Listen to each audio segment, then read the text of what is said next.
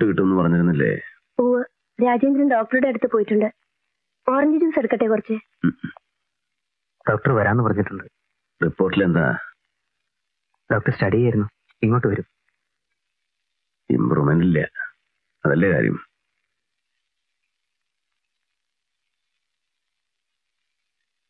ഒരു injection try ചെയ്യാന്ന് പറഞ്ഞു. ചിലപ്പോൾ ബോംബെ കിട്ടും. ഇല്ലെങ്കിൽ ലണ്ടനിൽ വരുത്തണം. അതാണ് അത്ര ലേറ്റസ്റ്റ് നോക്കട്ടെ. പ്രിസ്ക്രിപ്ഷൻ നോക്കട്ടെ.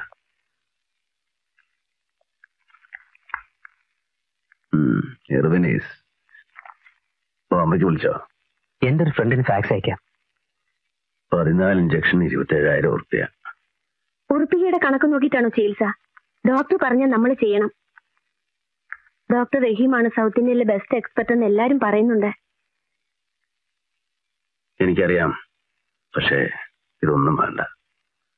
കടബാധ്യതകളുടെ പ്രേതങ്ങൾ കൂടി പിന്നെ അലഞ്ഞു നടക്കരുതെന്ന് എനിക്ക് നിർബന്ധമുണ്ട്. രവിയേട്ടാ ഞാൻ കണക്ക് പറഞ്ഞ് കടം പിരിക്കാൻ നടക്കുമെന്നാണോ രവിയേട്ടൻ വിചാരിക്കുന്നത്? രാജേന്ദ്ര അതല്ല. ആവശ്യമില്ലാതെ വെറുതെ ചെലവാക്കേണ്ട കാര്യമില്ല. ഡോക്ടർ വെറുതെ പറയില്ലല്ലോ. നമ്മൾ ട്രൈ ചെയ്യണം. അടുത്ത മുറിയിൽ കിടന്ന കുട്ടിക്ക് ഇത് ട്രൈ ചെയ്താണ്. പണം ഉണ്ടാക്കാൻ അവർ ഓടി നടക്കുന്നത് ഞാൻ കണ്ടിരുന്നു. മരുന്ന് വന്നപ്പോ സിവിയർ റിയാക്ഷൻ ഉപയോഗിക്കേണ്ടി വന്നില്ല. വേസ്റ്റ് രവിയേട്ടാ പ്ലീസ് ചിലവ് വിചാരിച്ചിട്ട് നമ്മൾ പണം ഒരു പ്രോബ്ലം അല്ല. പ്രോബ്ലം മാറണ്ട് എന്റെ ഈ ശരീരത്തിൽ ഇനി ഒരു എക്സ്പെരിമെന്റ് നടത്തണ്ട. അതന്നെ. സ്വൈര്യമായിട്ട് എന്നെ ഒന്ന് മരിക്കാൻ സമ്മതിക്കോ? പേരൻസ് മാറ്റർ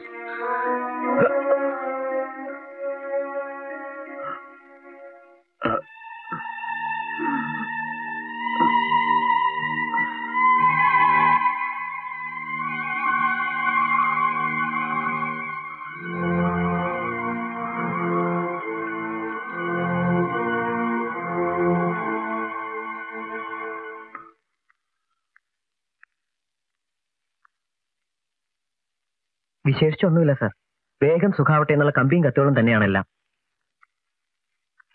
ബാബു എന്റെ രോഗം വാർത്തയാക്കിയത് ആരുടെ കൈക്രിയാണ് നമ്പ്യാർ സാർ തന്നെ. വേണ്ടാന്ന് ഞങ്ങൾ റിപ്പോർട്ടിങ്ങിലുള്ളവർ പറഞ്ഞു. ചേച്ചി എനിക്ക് രണ്ടു മണിക്കാണ് ഡ്യൂട്ടി ചേച്ചി വീട്ടിൽ പോയി വന്നോളൂ.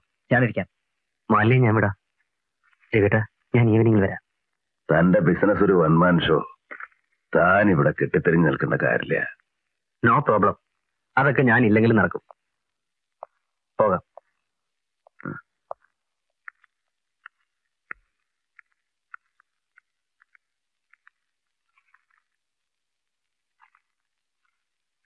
ഈ രാജേന്ദ്രൻ അതുകൊണ്ട് ബുദ്ധിമുട്ടൊന്നും അറിയുന്നില്ല.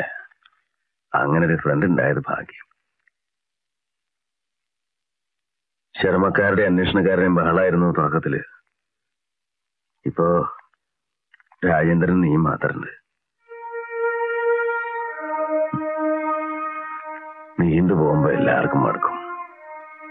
വേഗം തീർന്നു കിട്ടണമെന്ന് മനസ്സിൽ പ്രാർത്ഥിക്കാനും തുടങ്ങും. ആരായാലും. പക്ഷെ സാർ സുഖാവാൻ വേണ്ടി ഒരുപാട് പേര് പ്രാർത്ഥിക്കുന്നുണ്ട്. അതൊരു ചെറിയ കാര്യമല്ല. അതിനൊക്കെ ഒരു ഫലം ഉണ്ടാവുന്ന എന്റെ വിശ്വാസം. രക്ഷപ്പെടില്ല എന്ന് ഡോക്ടർക്കും അറിയാം. നിങ്ങളെയൊക്കെ ഇനി ഞാൻ എത്ര കഷ്ടപ്പെടുത്തുന്നു അമ്മേ.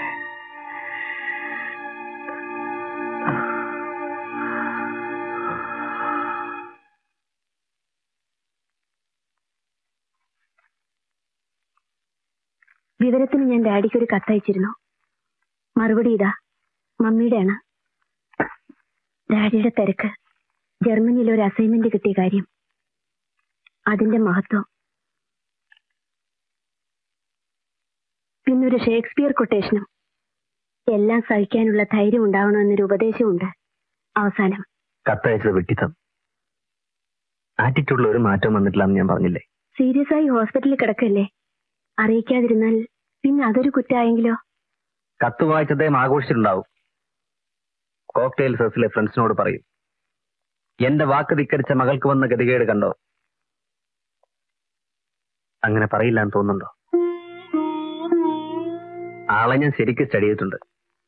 പഴയ രവിയേട്ടനല്ല ഇപ്പോൾ റെസ്പോൺസിബിൾ ജോലിയുണ്ട്. വെൽ സെറ്റിൽഡ് എന്നൊക്കെ പറഞ്ഞ് കോംപ്രമൈസ് ആക്കാൻ ചെന്ന് എന്നോട് കക്ഷി പെരുമാറിയത് എനിക്ക് നല്ല ഓർമ്മയുണ്ട്. ടേക്ക് ഇറ്റ് ഈസി ഞാൻ വൈകുന്നേരം ഹോസ്പിറ്റലിൽ വരാം. ഓഫീസിലെത്തി ഞാൻ വണ്ടി തിരിച്ചയക്കാം. വേണ്ട ഞാൻ പൊയ്ക്കൊള്ളാം പ്രിൻസിപ്പളിന്റെ അടുത്ത് ലീവിന്റെ കാര്യം. ഫാദർ അലക്സിന് ഇതുവരെ കിട്ടിയിട്ടില്ല. ഇന്ന് നോക്കട്ടെ.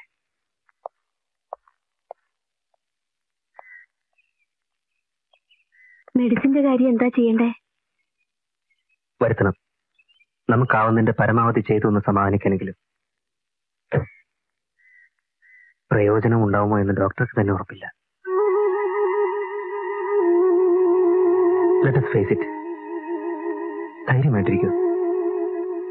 അല്ലാതെ എന്ത് പറയാൻ?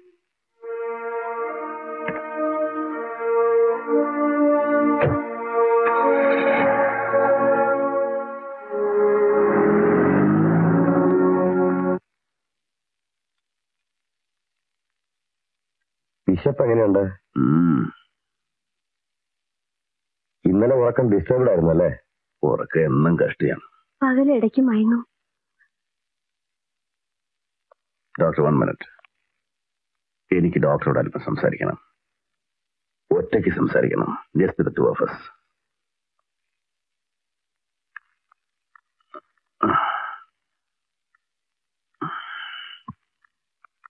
Doctor ഇരിക്കെ.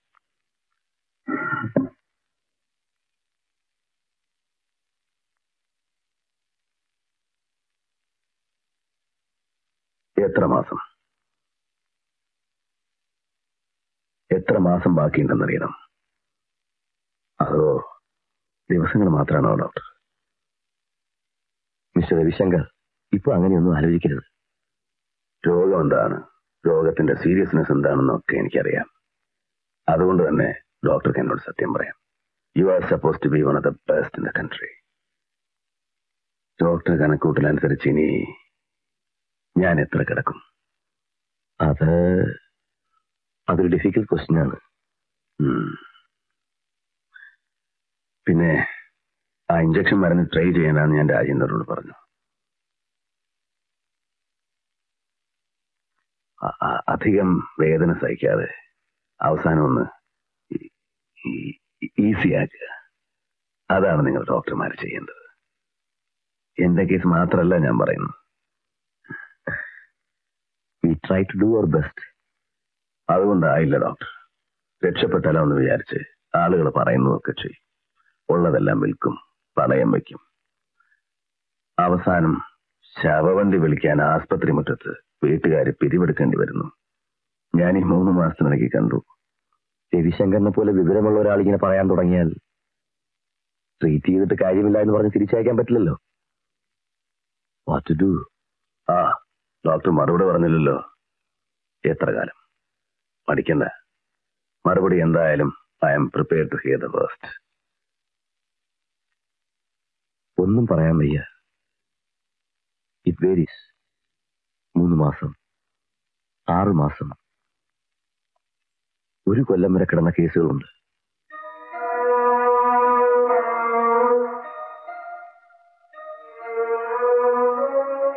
ചെയ്തിടത്തോളം ചികിത്സ മതി ഡോക്ടർ. ഞാൻ നാട്ടിൽ പോകുന്നു. അവിടെ കിടക്കാം. ഫോർ എ ചേഞ്ച് നാട് ഒരു വില്ലേജാണ്. ഇവിടെ കിടന്നാലും അവസാനം ബോഡി എത്തിക്കുന്നത് അവിടെയാണ്. As you wish thank you doctor. Not your fault doctor കഴിയാവുന്നതെല്ലാം ചെയ്തിട്ടുണ്ട്.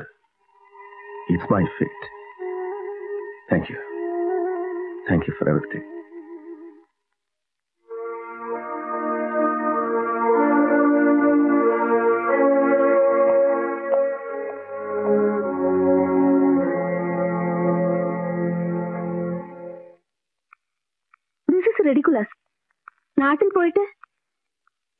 പറയുന്നത്?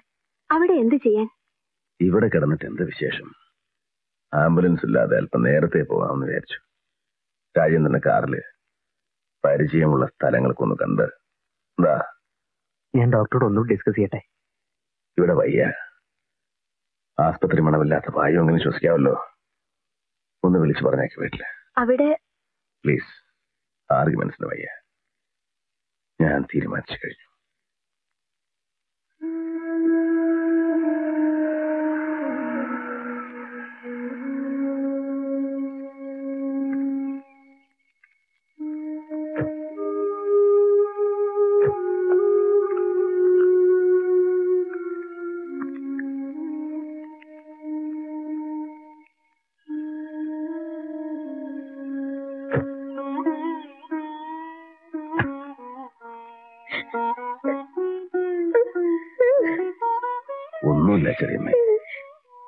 ദിവസം ഇവിടെ കിടക്കാൻ തോന്നി.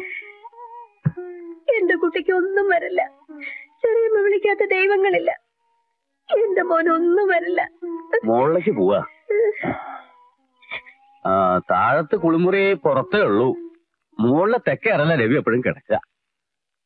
വയ്യാണ്ടാവുമ്പോ താഴത്തേക്ക് ഇറക്കാൻ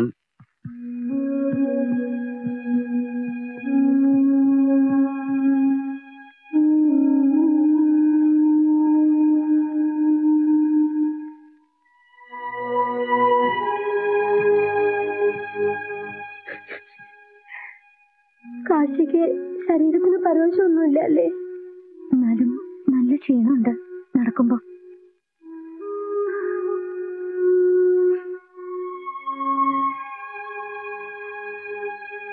ഇപ്പോ കുടിക്കാൻ എന്താ കൊടുക്കണ്ടേ? ഒന്നും വേണ്ട. ഒരിളനീര് പിന്നെ മതി. യാത്ര ചെയ്തതിന്റെ ക്ഷീണം ഉണ്ടാവും. കുറച്ചു നേരം കടന്നോളൂ.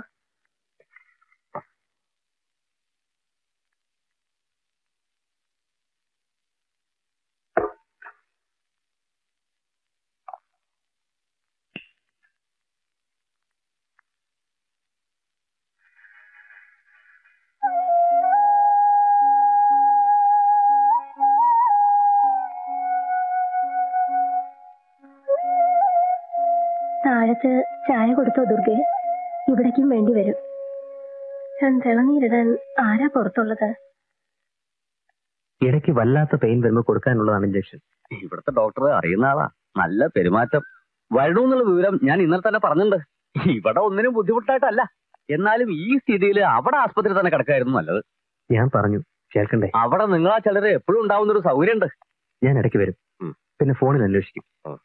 എന്റെ ക്ലാസ്മേറ്റ് ആണ്. രവിയേട്ടൻ കുറച്ചു കാലം എന്നെ പഠിപ്പിച്ചിട്ടുണ്ട്. ഞാൻ അവർക്ക് ഒരു ഫാമിലി മെമ്പർ പോലെ.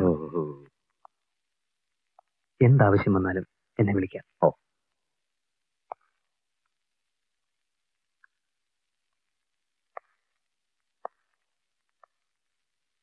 ഞാൻ നടക്കട്ടെ. ബാബു വരുന്നുണ്ടോ?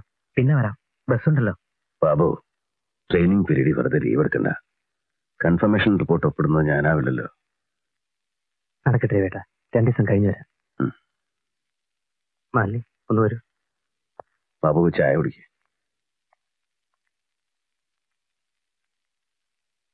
ചെറിയമ്മയ്ക്ക് കേൾക്കണോ?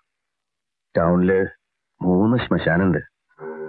പലപ്പോഴും പോകേണ്ടി വന്നിട്ടുണ്ട്. ഭയങ്കര. അവിടെ ദഹിപ്പിക്കലൊരു കച്ചവടാ.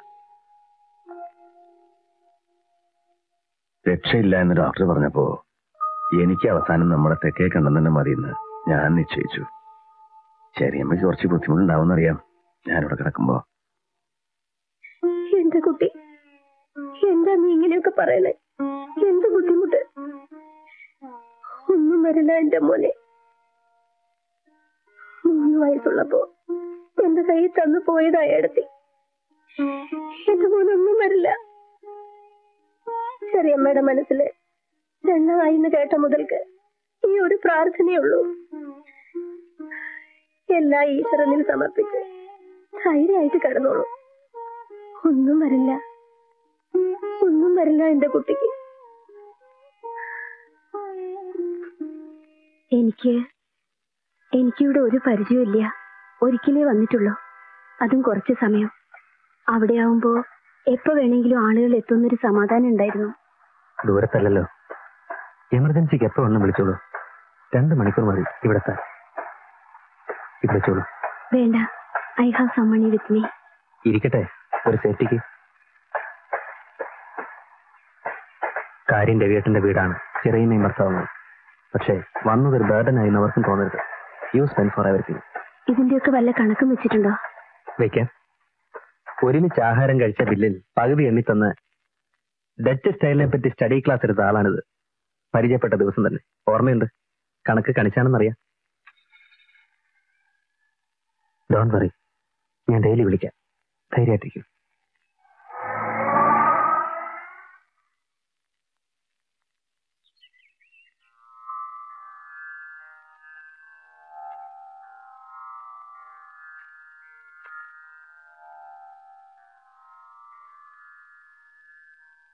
ശാരടി മാഷ് റിട്ടയർ ചെയ്യണേന് ഒരു സെന്റ് ഓഫ് രവി വന്നു അല്ലേ നീ കണ്ടുവോ ചൊവ്വാഴ്ച സന്ധ്യ നേരം. ദണ്ണം കാണാൻ കയറണത് ശരിയല്ലല്ലോ വെച്ചിട്ട് ഞാൻ അങ്ങോട്ട് കടന്നില്ല. രാവിലെ കാണാം. അവന്റെ ഭാര്യ വന്നിട്ടില്ലേ? ഓ. ഞാനും മനസ്സുകൊണ്ട് അവനെ ശപിച്ചിട്ടുണ്ട്. ഇപ്പൊ അത് ആലോചിക്കുമ്പോ വല്ലാത്തൊരു ഈശൽ അമ്മ വെറുതെ ഇനി പഴംപുരാണം തുടങ്ങണ്ട.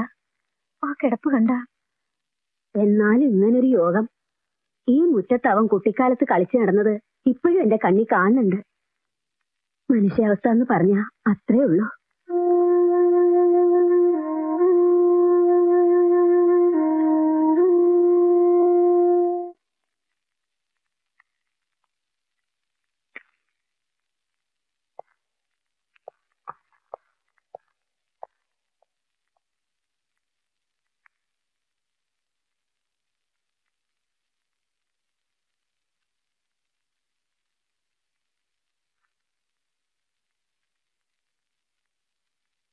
അറിയൂ രവിക്ക് ദുർഗയുടെ അമ്മ അറിയാണ്ട് എന്താ വാഴാവിലെ സ്കൂളിലെ അമ്മ ഇപ്പോഴും? പ്രൈവറ്റ് സ്കൂളല്ലേ? മാറ്റം ഉണ്ടാവില്ലല്ലോ. കുട്ടികൾക്ക് രണ്ടാൾക്കും എഴുതിയിട്ടുണ്ട്. വരും എന്നാ തോന്നണേ. അമ്മൂട്ടിക്ക് പ്രയാസമില്ല. കോയമ്പത്തൂരിൽ നിന്ന് വരല്ലേ വേണ്ടു. കേശു ഒരു ദിവസം ലീവ് എടുത്താൽ മതിയല്ലോ. കാർത്തിക്ക് വരാൻ പറ്റുമെന്ന് അറിയില്ല.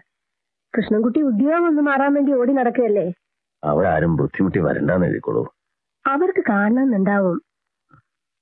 അമ്മൂട്ടിയുടെ കല്യാണത്തിനും കൂടി രവി വന്നില്ല.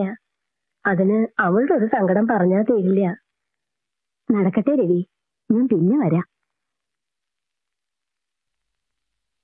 കുട്ടികൾ എപ്പോഴും പറയും അന്യ നാട്ടിൽ എവിടെ ചെന്നാലും രവിയേട്ടന്റെ ചെറിയമ്മയുടെ മക്കളാണെന്ന് എങ്ങനെയെങ്കിലും അറിയും. പിന്നെ എല്ലാവർക്കും അവരെ വലിയ കാര്യമാണ്. തറവാട്ടിൽ അങ്ങനെ ഒരു പേരുണ്ടാക്കി തന്നത്. എന്റെ മോന. നോക്കൂ ചെറിയമ്മേ എല്ലാവരും ഇങ്ങനെ കരച്ചിലും പിടിച്ചിലും ആയാൽ കിടക്കുന്നവർക്കൊരു സമാധാനം ഉണ്ടാവോ?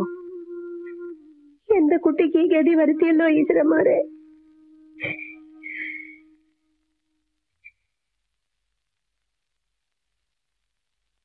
അവർ കരയും. ഏ ഇതൊന്നും സാരല്ല വേഗം മാറും എന്നൊക്കെ വെറും പറയാൻ അവർക്കറിയില്ല. അഭിനയം പഠിച്ചവരെ നമ്മളൊക്കെ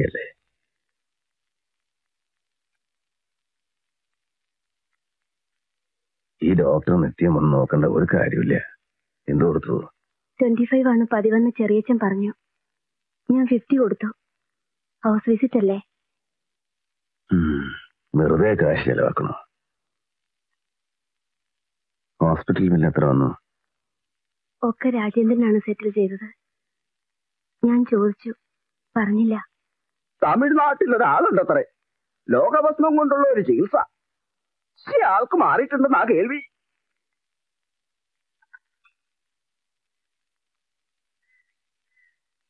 എനിക്ക് വേണ്ട ദുർഗെ ഞാൻ രണ്ട് ചായ കഴിഞ്ഞു. രവിയുടെ ഭാര്യയ്ക്ക് എന്തോ ഉദ്യോഗമില്ലേ? കോളേജിൽ പഠിപ്പിക്കുക നടക്കാരുടെ കോളേജിൽ. ആ? ആ.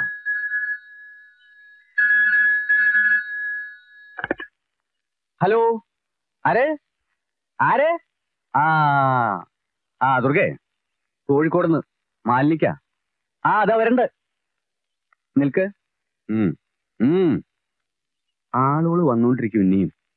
എല്ലാവർക്കും ചായ സൽക്കാരം വേണമെന്നില്ല. കല്യാണ വീട്ടിലേക്ക് എല്ലാ വരണമെന്ന് നിന്റെ അച്ഛമ്മങ്ങളോടൊന്ന് പറഞ്ഞു കൊടുത്തേക്ക്. ആ അതാ വരണു. എനിക്കാണോ? രാജേന്ദ്രൻ ഹലോ? ഹായ് ഇന്നലെ ശരിക്കും ഉറങ്ങി he appears to be very relaxed. Father അലക്സിനെ കണ്ടോ. ശരി. വരാം. അവർക്ക് സിറ്റുവേഷൻ അറിഞ്ഞൂടെ? ശരി. കോളേജിൽ ലീവ് എക്സ്റ്റെൻഡ് ചെയ്യാൻ പ്രയാസമുണ്ട്. നാളെ പോണം. ഉദ്യോഗത്തിന്റെ കാര്യല്ലേ? പോവാ ശനി ഞായർ വരാലോ? ഇപ്പോഴത്തെ സ്ഥിതി കണ്ട് അപകടസന്ധി പെട്ടെന്ന് ഉണ്ടാവും തോന്നുന്നില്ല. അല്ല ഒക്കെ ദൈവത്തിന്റെ കയ്യിലാത് വെച്ചോളൂ.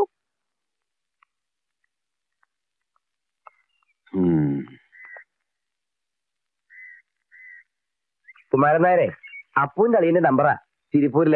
ഒരു വിവരം പറയാനാ ഒന്ന് വിളിച്ചാലോ? അതെ ദൂരം വഴിക്ക് വിളിച്ച് അതിൽ കിട്ടില്ല. കുട്ടികളെ ഇങ്ങോട്ട് വിളിക്കണമൊക്കെ കിട്ടുകയും ചെയ്യും. ഇവിടുത്തെ യന്ത്രം അങ്ങനത്തതാ കേസ് വെപ്പിച്ചത്.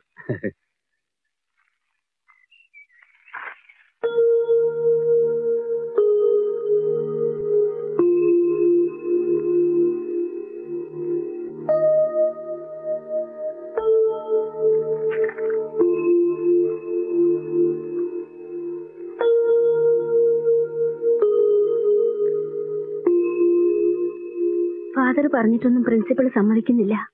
പൊയ്ക്കോളൂ അതിനെന്താ? ഇവിടെ ഒറ്റയ്ക്ക് ഇളനീരാണ്. എഴുത്തിനിക്ക് വേണോ? കൊണ്ടുവരാൻ വേണ്ട. ദുർഗയെ കണ്ടിട്ടില്ലേ മാലിനി മുമ്പ് വന്നപ്പോ? ഇല്ല. അന്ന് ഞാൻ വന്നപ്പോഴേക്ക് രവീടിനും എഴുത്തിനും പോയിരുന്നു. നോക്കൂ. ഞാൻ ഒരു മെഡിക്കൽ ലീവിന് എഴുതിയാലോ? വേണ്ട. പിരിച്ചുവിടാൻ അവരൊരു കാരണം കാത്തിരിക്കുക. രണ്ടു ലക്ഷം മൂന്ന് ലക്ഷം കൊടുത്ത് ചേരാൻ ആളുകൾ ക്യൂവിലുണ്ടാവും. പോയി ജോയിൻ ചെയ്തോളൂ. സമാധാനമായിട്ട് പൊയ്ക്കോളൂ. ഇവിടെ ഞങ്ങൾ എല്ലാവരും ഇല്ലേ രവീട്ടിനെ നോക്കാൻ?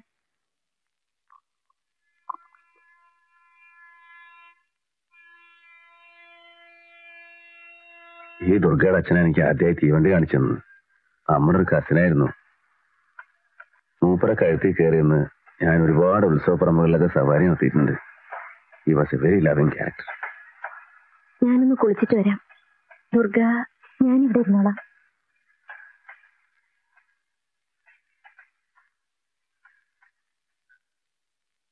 മുമ്പ് അന്വേഷിച്ചപ്പോ ദുർഗയ്ക്ക് പഞ്ചായത്ത് ഓഫീസിൽ എന്തോ പണി കിട്ടിയെന്ന് പറഞ്ഞല്ലോ ചെറിയമ്മ. ഇപ്പൊ ഇവിടെയില്ല. ടെമ്പററി വേക്കൻസിയിൽ ഒരു എട്ട് മാസം ഉണ്ടായി ഇപ്പോ ആരൊക്കെ ഉണ്ട് വീട്ടിൽ? അമ്മയും ഞാനും തന്നെ. ഓ തെക്കുന്ന് മാറ്റം വന്ന ഒരു ടീച്ചർ ഉണ്ടായിരുന്നു കുറച്ചു കാലം അതാണോ ചോദിച്ചത്.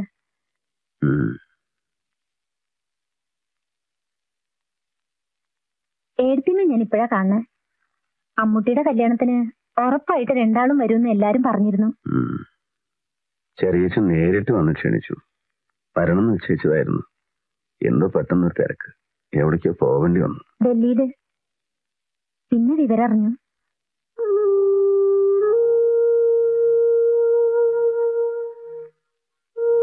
ശരിയാ.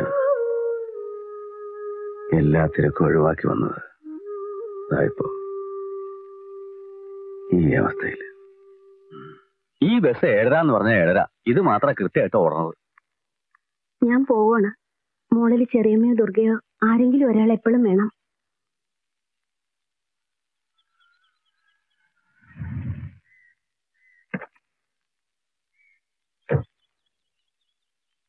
ഞാൻ ബസ്സിന് വരാന്നാണല്ലോ പറഞ്ഞിരുന്നത്. വണ്ടി അയക്കേണ്ടിയിരുന്നില്ല.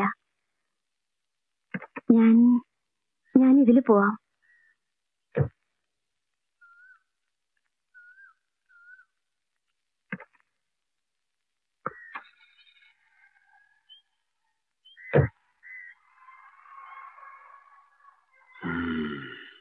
ഈ രാജേന്ദ്രൻ ഉള്ളതാ ഇവർക്കൊരു രക്ഷ.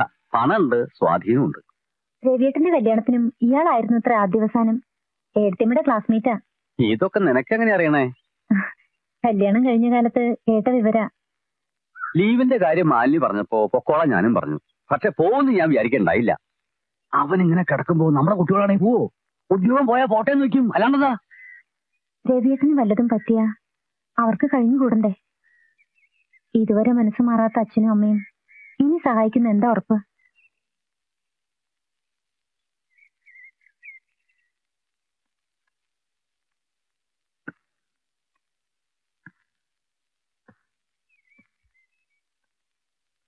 എന്താ വേണ്ടത്?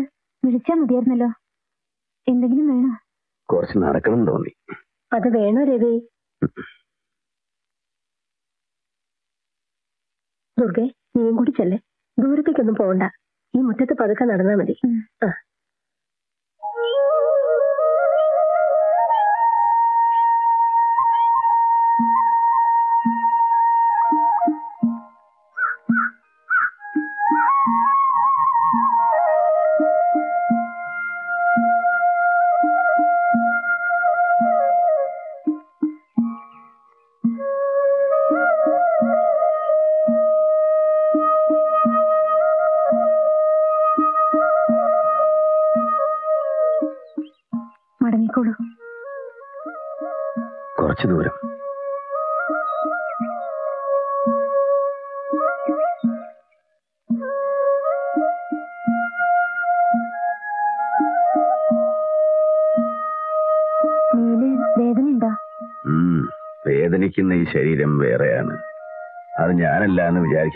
സഹിക്കാം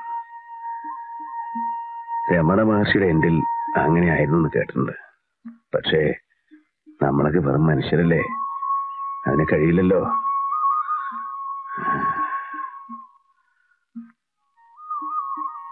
നാടുമാൻ ഇടിമിന്നേറ്റ് മരിച്ചത് ഞാൻ പത്രത്തിലാണ് വായിച്ചത്. ഒരു സെക്കൻഡ്. കാത്തിരിപ്പില്ല ഭയമില്ല. കാറ്റിൽ വിളക്ക് കിടന്ന പോലെ ഒറ്റ സെക്കൻഡിൽ. അന്ന് രവിയേട്ടന്റെ എം പരീക്ഷ നടക്കുകയായിരുന്നു. വരണ്ടാന്ന് ഞാൻ എഴുതാൻ പറഞ്ഞത്.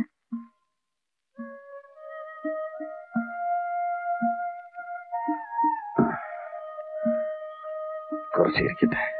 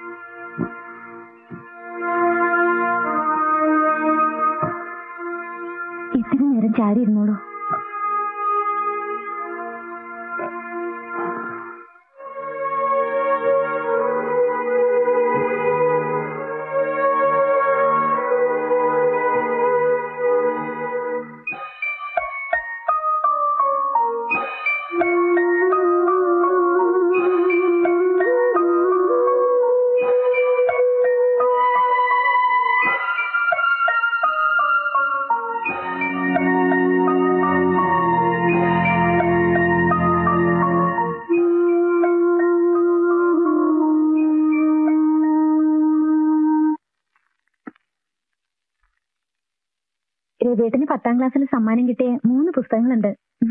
അതെന്റെ കയ്യിലാ. യുവകേരളം എന്നൊരു മാസിക നടത്തിയിരുന്നില്ലേ മുമ്പ്? അഞ്ചു മാസം ഒരു ചങ്ങാതിക്ക് ഒമ്പതിനായിരം റുപ്യ നഷ്ടം. യുവകേരളം പത്രാധിപരെ ഞാൻ ചെറുതായിട്ടൊന്ന് പറ്റിച്ചിട്ടുണ്ട്. ഞാനും ഇടയ്ക്ക് കവിത എന്ന് പറഞ്ഞ് ഓരോന്നൊക്കെ കുട്ടിക്കുറിച്ചിരുന്നു ദേവിയച്ഛനെ കാണിക്കാൻ പേടി. അമ്മൂട്ടിക്ക് അറിയും മിണ്ടിയ ചൂട് വെക്കുന്നായിരുന്നു ഭീഷണി. ചെറിയൊരു സംശയം ഉണ്ടായിരുന്നു. ഒന്ന് കുറച്ച് ഭേദായിട്ടുണ്ടെന്ന് തോന്നി. അമ്മൂട്ടിയെ കൊണ്ട് പകർത്തിച്ച് രവിയേട്ടന്റെ യുവകേരളത്തിന് അയച്ചു. എന്റെ കയ്യച്ചര അറിഞ്ഞാലോ എന്ന് സംശയം. എന്നിട്ട്? ഹേമായിട്ട് അച്ചടിച്ച് വരും ചെയ്തു. ഏയ് അതുണ്ടാവില്ല. അതിൽ അച്ചടിച്ച് വന്നതൊക്കെ എനിക്ക് ഓർമ്മയുണ്ട്. പ്രത്യേകിച്ച് കവിത. കവിയാവാൻ ചക്രശ്വാസം വലിച്ച് നടന്ന കാലായിരുന്നല്ലോ അത്. ഞാൻ ശ്രദ്ധിച്ച് വായിക്കാതെ ഒന്നും പോവില്ല. പറ്റിച്ചു എന്ന് പറഞ്ഞത് അതാണ്. എന്റെ പേരല്ല വിളയൂർ ശ്രീദേവി. ഓ വിളയൂർ ശ്രീദേവി. ശരിയാണ് ഉണ്ട്. അന്നത്തെ സഹായികൾ ആരോടോ പറയുകയും ചെയ്തു. ഡോ എന്റെ നാട്ടിനടുത്തും പെണ്ണുങ്ങൾ കവിത എഴുതാൻ തുടങ്ങുന്നു. വിളയൂര്? ഞങ്ങളുടെ ശരിക്കുള്ള തറവാട് വിളയൂരല്ലേ? അച്ഛൻ കല്യാണം കഴിച്ചിട്ടല്ലേ ഇങ്ങോട്ട് താമസാക്കിയത്? ഓ. ദുർഗാന്ന് വെച്ചാ ദേവി. ശ്രീദേവി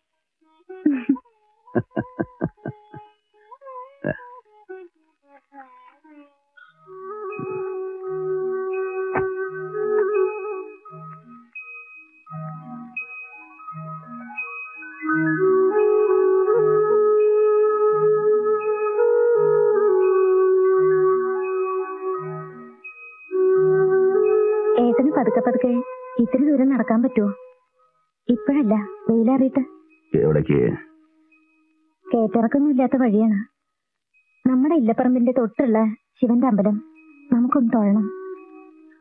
ഒരു പ്രാർത്ഥന കൊണ്ടും ദിവസം നീട്ടി കിട്ടില്ല കുട്ടി. വയ്യ.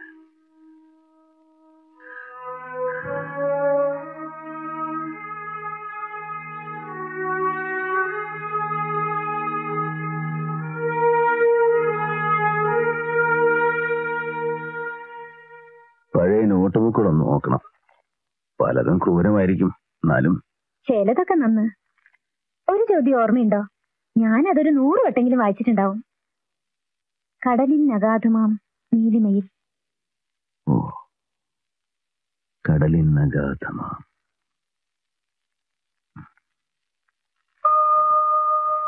കടലിൻ കടലിനഗാധമാം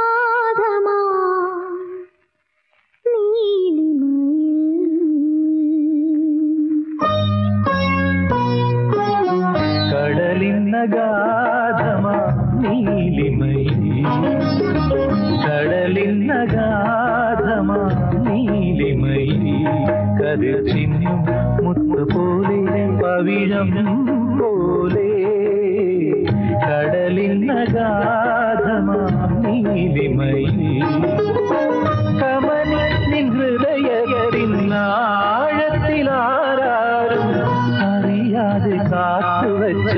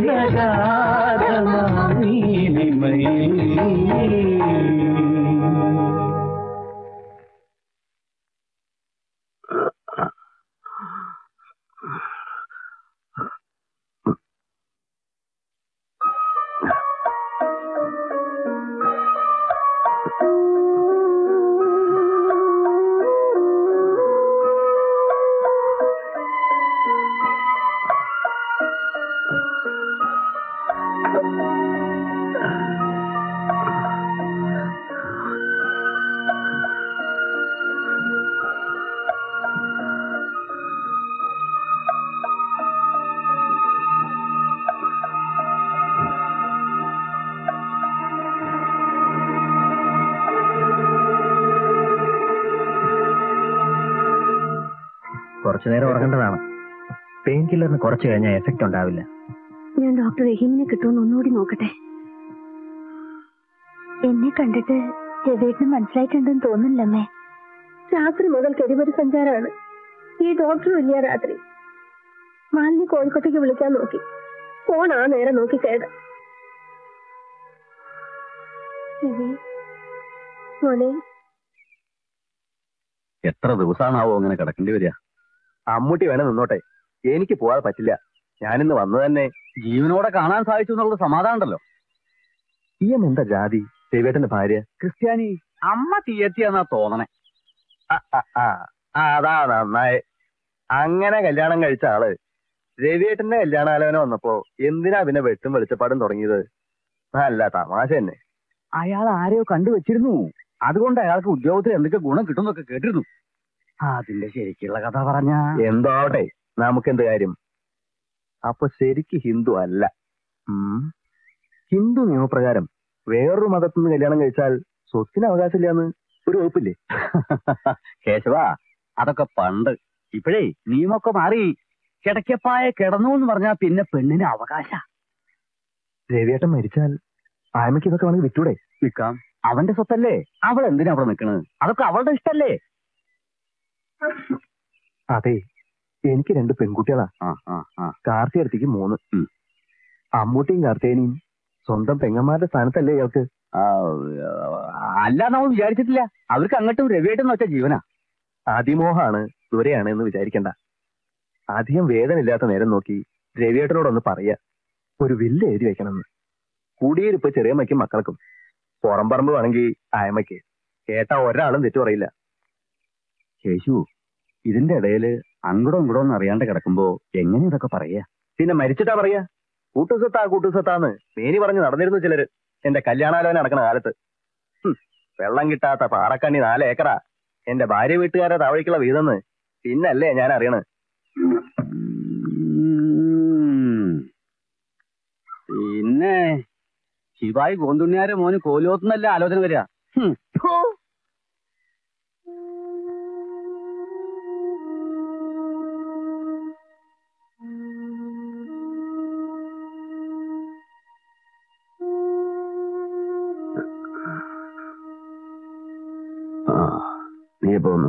കുറച്ചു നേരമായി. സാർ ഉറങ്ങായിരുന്നു. ഇന്നലെ ന്യൂസ് എഡിറ്ററും മാനേജറും വരണമെന്ന് പറഞ്ഞിരുന്നു. പിന്നെന്തോ പ്രോഗ്രാം മാറ്റി. വരണ്ടാന്ന് അവരോട് പറഞ്ഞേക്ക്. അവർക്ക് ഒരു നാട്ടു നടപ്പിന് വേണ്ടി എന്തെങ്കിലുമൊക്കെ എന്നോട് പറയേണ്ടി വരും. അവർ മെനക്കെട്ട് അഭിനയിക്കണം. എനിക്കൊന്നുമില്ല എന്ന മട്ടിൽ ഞാനും പിന്നെ അഭിനയിക്കണം. വയ്യ. ലേഖനങ്ങളൊക്കെ തേടി പിടിച്ചു. രണ്ട് പുസ്തകത്തിനുണ്ടാവും. ഒക്കെ കെ സി സാറിന് അയച്ചു. കഥയും നോവലും പോലെ വിൽക്കില്ല. എന്നാലും എല്ലാറ്റിനെയും നിങ്ങൾ കോപ്പിറൈറ്റ് ചെയ്ത് വാങ്ങി പരമാവധി തരാൻ പറയും. ഒരു മേജർ എമൗണ്ട് കൊടുക്കേണ്ടത് രാജേന്ദ്രന് തന്നെയാണ്. എപ്പോഴും അതന്നെ ആവർത്തിച്ച് പറയണോ? ഹീസ് എ ഗുഡ് ഫ്രണ്ട് കണക്ക് ചോദിച്ച് പ്ലീസ് ഡോണ്ട് ഇൻസൾട്ട് ഹിം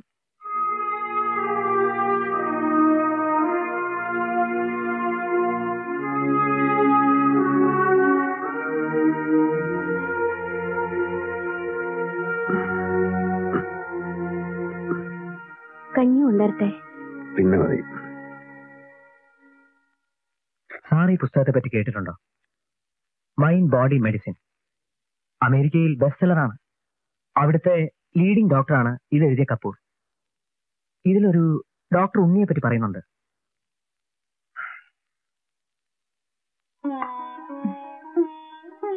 ഇത് ഹനുമാന്റെ അമ്പലത്തിലെ പ്രസാദാണ്. കഴിച്ചാ ഒരു അലോഗ്യം ഉണ്ടാവില്ല. നാളെ മുതൽ ശിവന്റെ അമ്പലത്തിൽ ധാര. അതോടെ വലിയ വിശേഷ. നാളെ രവിയേട്ടന്റെ ജന്മനക്ഷത്രല്ലേ?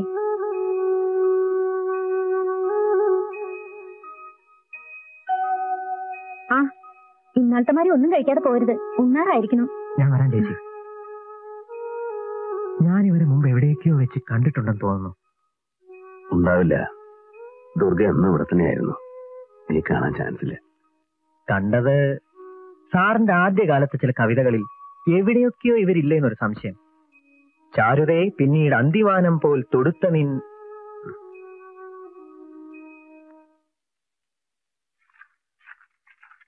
സർ ഇതിൽ പറയുന്ന ഡോക്ടർ ഉണ്ണി ഇപ്പോൾ ഊട്ടിയിലാണ്.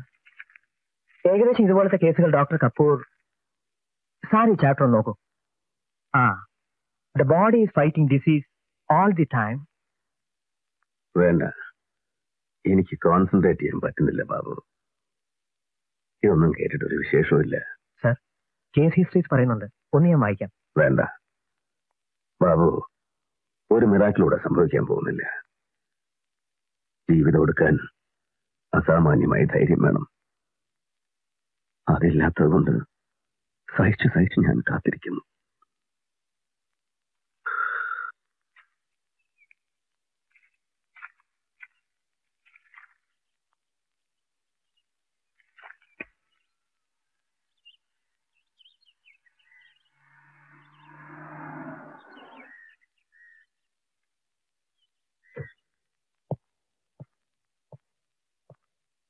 Last night it was terrible doctor Rahim എന്ത് പറഞ്ഞു? ഡോസേജ് കൂട്ടിയിട്ട് കാര്യമില്ല. രാത്രി ആകുമ്പോഴേ പേടി. പകൽ എങ്ങനെയെങ്കിലും ഒക്കെ കഴിച്ചു കൂട്ടാം.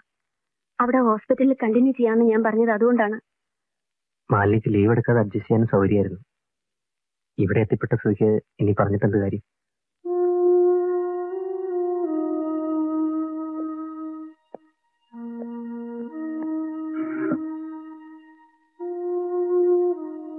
ഇപ്പൊ എങ്ങനെയുണ്ട് വേട്ട ഉം, സഹിക്കാവുന്നായിട്ടുണ്ട് രാത്രി ഉറങ്ങാൻ പറ്റണില്ല. അതാണ് കഷ്ടം. ഞാനിവിടെ ഹാൾട്ട് ചെയ്യുന്നു. ഡോൺ പറയും. ദിവസേന രാത്രി ഒന്നും നിൽക്കാനും പ്രയാസമില്ല. ഭക്ഷണം ഒന്നും കഴിക്കുന്നില്ല. ഈ ഇളനീര് വെള്ളം ഇടയ്ക്ക് കുറേശ്ശേ കുടിക്കും. ശരിയമ്മേ രാജേന്ദ്രൻ ഇവിടെ താമസിക്കാണ്. അത് നന്നായി. വടക്കേ അറയിൽ കിടക്കാലോ. കാർത്തി കഴിഞ്ഞ കൊല്ലം വന്നപ്പോഴാ അതിലൊരു പുളിമുറി ഉണ്ടാക്കിയത്. മാറ്റി വിരിക്കാൻ ദുർഗോട് പറഞ്ഞാ മതി. അവളുള്ളതാ വലിയൊരു സഹായം.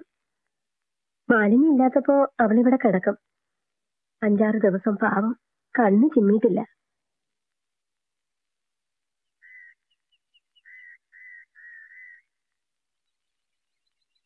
എങ്ങനെയുണ്ടടി? ഇന്നലെ രാത്രി കുറച്ച് വേദന തലച്ചിലായി. ഇന്നിപ്പോ അവരൊക്കെ ഉണ്ടല്ലോ. എത്ര ദിവസം ഇങ്ങനെ കിടത്തി കഷ്ടപ്പെടുത്തണാവോ? ഇതിലും ഭേദം വേഗം അങ്ങോട്ട് വിളിക്കുകയല്ലേ ഭഗവാനെ? അങ്ങനെയൊന്നും പറയല്ലേ അമ്മേ. നീ ഒരു കാര്യം ആലോചിച്ചിട്ടുണ്ടോ? അന്ന് നമ്മളൊക്കെ വിചാരിച്ച പോലെ നടക്കാണ്ട് പോയതെന്താ? നിന്റെ ജാതകത്തിൽ വൈദ്യവിദോഷം ഉണ്ടാവില്ല. അതന്നെ. അമ്മ എന്തിനാ പിന്നെ പിന്നെ അതന്നെ പറഞ്ഞോണ്ടിരിക്കണ? ഒക്കേറ്റിന് ഒരു ദൈവനിശ്ചയം ഉണ്ടാവുമെന്ന് സമാധാനിച്ച ദുർഗെ? അമ്മയ്ക്കെന്നറിയോ? ഏട്ടത്തിമ്മ വരും പോവും ഉദ്യോഗം കളയാൻ വയ്യല്ലോ പക്ഷേ ജന്മത്തിൽ എനിക്കും ചിലത് വിധിച്ചിട്ടുണ്ടാവും അതുകൊണ്ടല്ലേ രവീഷിന് ഇപ്പൊ ഇങ്ങോട്ട് വരാൻ തോന്നിയത്?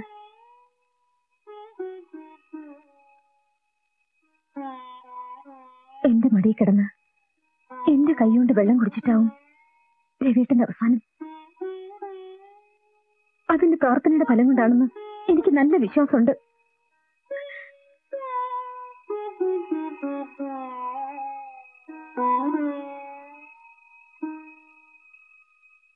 രാജേന്ദ്രന് നമ്മുടെ ശാപ്പാടൊക്കെ പിടിച്ചിട്ടുണ്ടോ എന്ന് നിശ്ചയില്ല വലിയ സ്ഥിതിയിൽ കഴിയുന്ന ആളുകളാവുമ്പോ ആ അവനതൊക്കെ ശീലാണ്.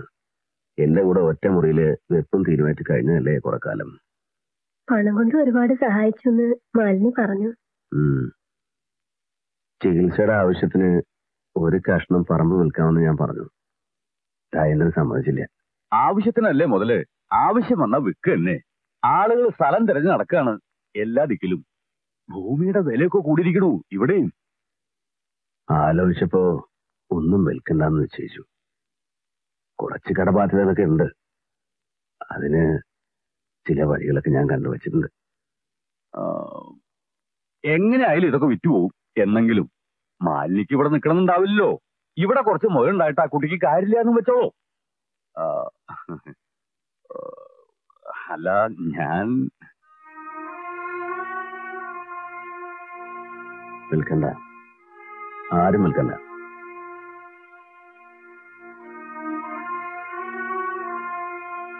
ഒരു പഴയ തറവാടല്ലേ? ഇതിനെ ചുറ്റിപ്പറ്റി ഒരുപാട് കഥകൾ കേട്ടതാണല്ലോ നമ്മളെല്ലാം. അതങ്ങനെ നിൽക്കട്ടെ. ഒരു ഫാം ഒരു ഫാമിലി ട്രസ്റ്റാക്കി മാറ്റണമെന്ന എന്റെ ആഗ്രഹം. ചെറിയമ്മയ്ക്കും മക്കൾക്കും ഉള്ളതുപോലെ മാലിനിക്കും ഒരവകാശം വെച്ചാൽ മതി. എപ്പോ വേണമെങ്കിലും വന്ന് താമസിക്കാം. നല്ല കാര്യമാണ്. പക്ഷേ മാലിനിക്ക് അവകാശപ്പെട്ടാന്നുള്ളതിൽ ആർക്കും സംശയമില്ല. ആ, കുട്ടിക്ക് കൂടി അതിന് സമ്മതമാവണ്ടേ ഞങ്ങൾ കുട്ടികളുടെ കൂടെ മാറി മാറി നിന്നോളാം. അത് വിചാരിച്ചിട്ട് വയ്യാത്ത കാലത്ത് ചെറിയമ്മ അമ്മൂട്ടിയുടെ ലൈൻ വീട്ടിൽ ഒറ്റമുറി ബോംബെയിൽ കാർത്തിയുടെ സ്ഥലം എന്ന് പറഞ്ഞാൽ ചെറിയച്ഛൻ അതൊന്നും ആലോചിക്കേ വേണ്ട. മാലിനിക്ക് കൂടി സമ്മതാണോന്ന്? ഇതിന്റെ തീരുവൽ അറിഞ്ഞിട്ടല്ലോ അവളെന്നെ കല്യാണം കഴിച്ചത്. ഇതെന്നും അങ്ങനെ തന്നെ നിലനിർത്താൻ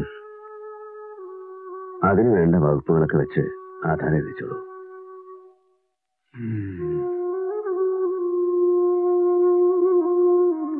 അധികം വൈകിക്കണമെന്നില്ല.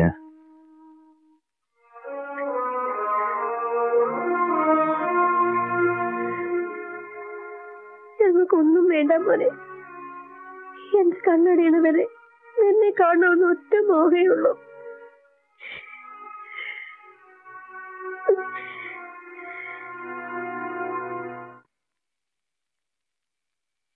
എനിക്കൊന്നും അറിയില്ല. ഐ കംപ്ലീറ്റ്ലി ബ്ലാങ്ക് ഒന്നും ആലോചിക്കാതിരിക്കാൻ ശ്രമിക്കുകയാണ് ഞാൻ. മകൾക്ക് ഇങ്ങനെ ഒരു ട്രാജഡി സംഭവിച്ചു എന്നറിഞ്ഞാൽ സാറിന് മനസ്സ് മാറിക്കൊടുന്നില്ല ഹോപ്പ് അവരാരും തിരിഞ്ഞു നോക്കില്ല. ഉറപ്പ്. നോക്കൂ. എല്ലാറ്റിനും എന്തെങ്കിലും ഒരു സൊല്യൂഷൻ ഉണ്ടാവും. ആ സിറ്റുവേഷൻ ആലോചിക്കുമ്പോഴാണ് തനിച്ച്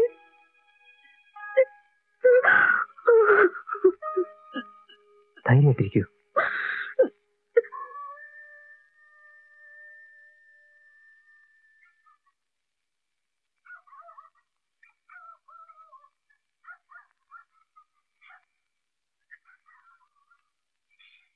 ഒരാളെ സഹായത്തിനില്ലാതെ ഞാൻ മാലിന്യ പറയുന്നത്.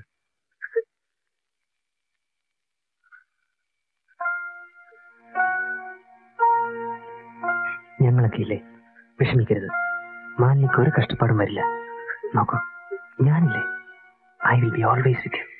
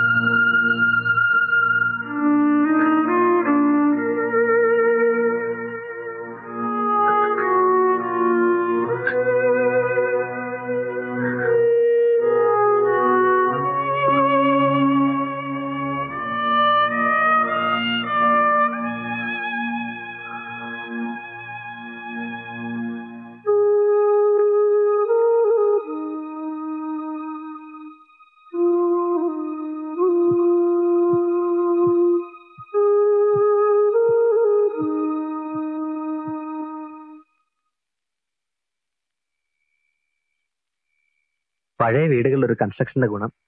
ചൂടില്ല. ജനൽ തുറന്നിട്ടാ നല്ല കാറ്റ്. മാലിനി. ഒന്നും കഴിച്ചിട്ടില്ല. ഞാൻ നിർബന്ധിച്ച് താഴത്തേക്ക് അയച്ചു.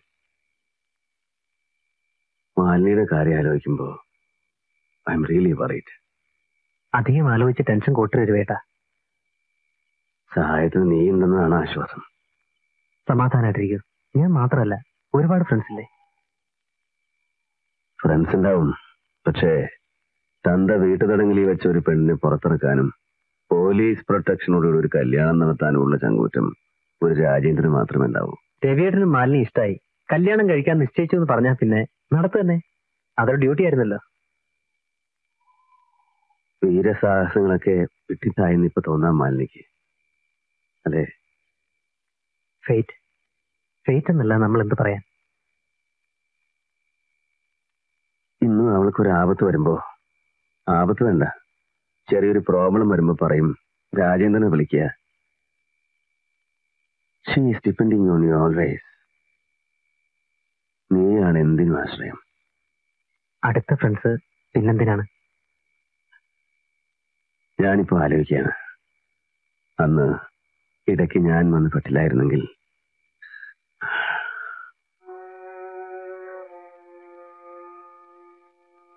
ഐ എം ഷുവർ ഞങ്ങളുടെ ഫ്രണ്ട്ഷിപ്പ് മറ്റെന്തൊക്കെയോ ആയി മാറുമായിരുന്നു? ഇല്ലേ? രവിയേട്ടാ. ഒരുപക്ഷെ നിങ്ങൾ വിവാഹം കഴിക്കുമായിരുന്നു. അല്ലേ? ചേട്ടാ ഇറ്റ്സ് എ ഫാക്ട് ഇപ്പോൾ അഡ്മിറ്റ് ചെയ്യുന്നതിൽ ആരും ഒരു തെറ്റും കാണില്ല. ക്ലോസ് ഫ്രണ്ട്സ് ആണ്. ഇഷ്ടമാണ്. അതിലധികം I know your integrity and sincerity അതിനെ ഞാൻ ചോദ്യം ചെയ്യുന്നില്ല. എനിക്കൊന്നേ ചോദിക്കാനുള്ളൂ.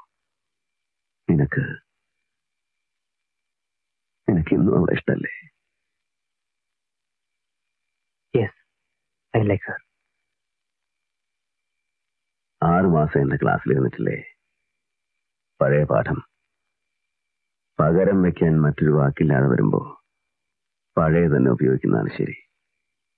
സേ യു ലവ് ഹർ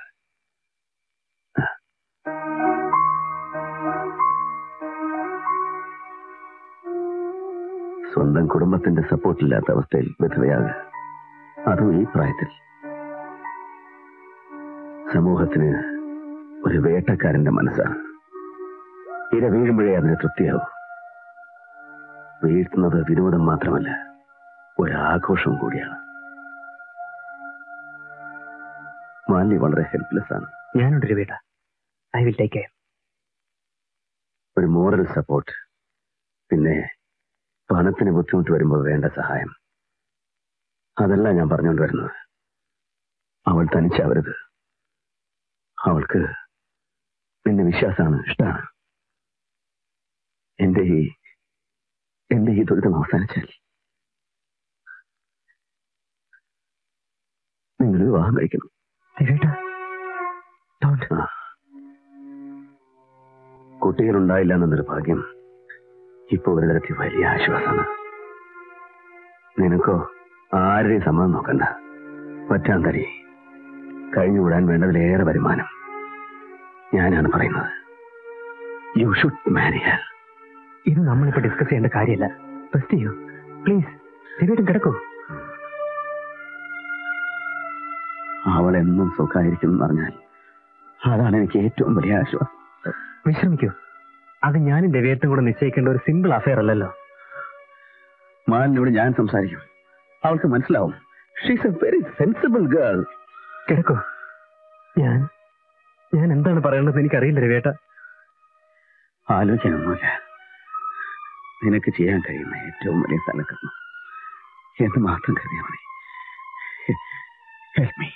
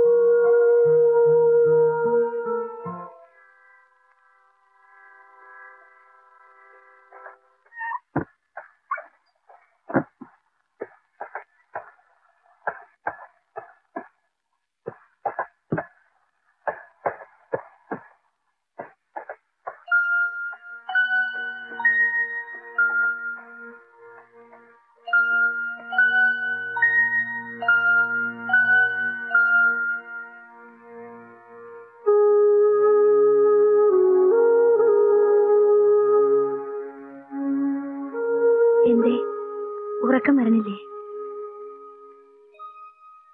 വേദന അധികമുണ്ടോ? സാറില്ല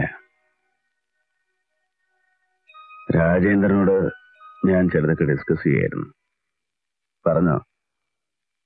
പറയും. ഒരു കാര്യം മാലിന്യം ആലോചിച്ചിട്ടുണ്ടോ?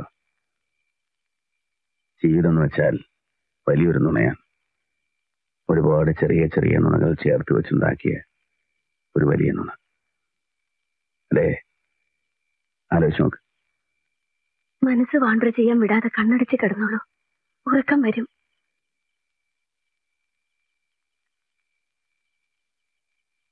മരണം എന്ന സംഭവം മുന്നിലെത്തുമ്പോഴേ നമ്മൾ ശരിക്കും സത്യത്തെ തിരിച്ചറിയുന്നുള്ളൂ.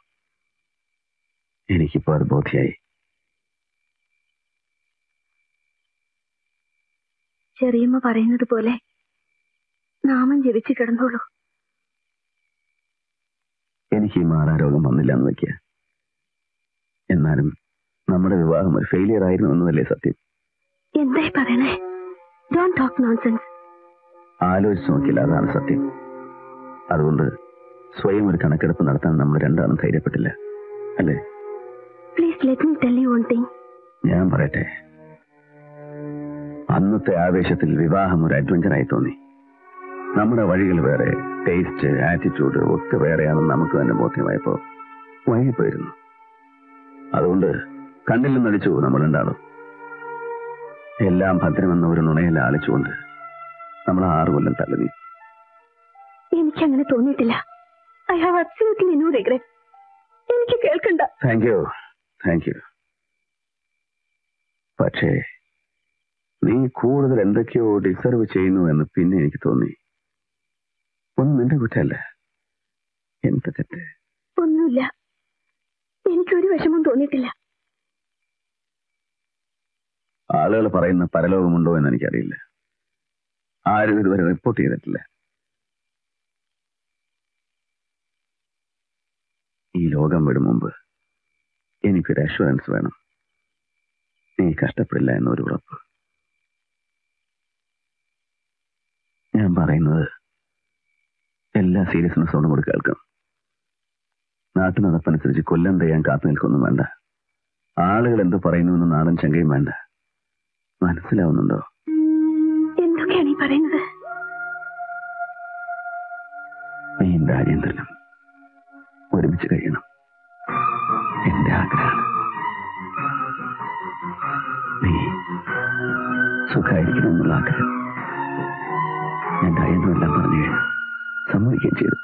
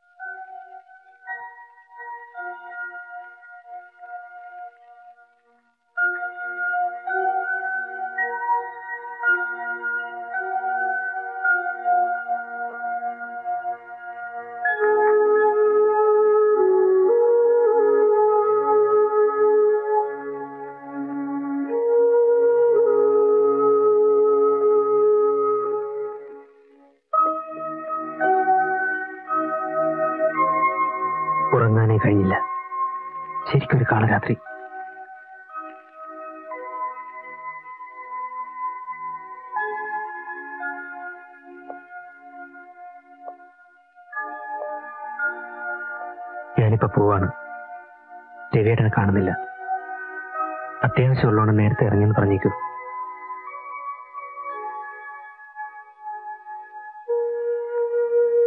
നാളെ ക്ലാസ്സില്ലേ? പോഷൻ തീർന്നിട്ടില്ല. ഇപ്പോൾ എന്നോട് വരുന്നോ? ഞാൻ വെയിറ്റ് ചെയ്യാം. ഞാൻ ബസ്സിന് വന്നോളാം.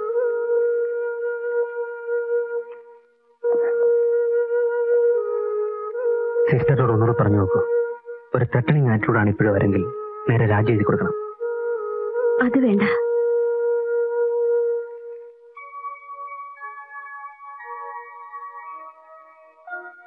ഞാൻ നാളെ കോണ്ടാക്ട് ചെയ്യാം അപ്സെറ്റ് ആവേണ്ട ഒരു കാര്യമില്ല. നടക്കട്ടെ.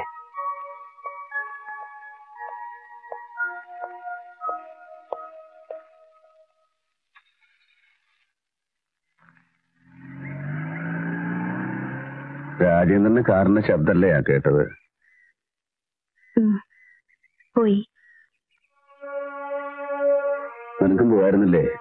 ബസ്സിന് കാത്തു കെട്ടി ഒന്ന് തെക്കി തിരക്കി.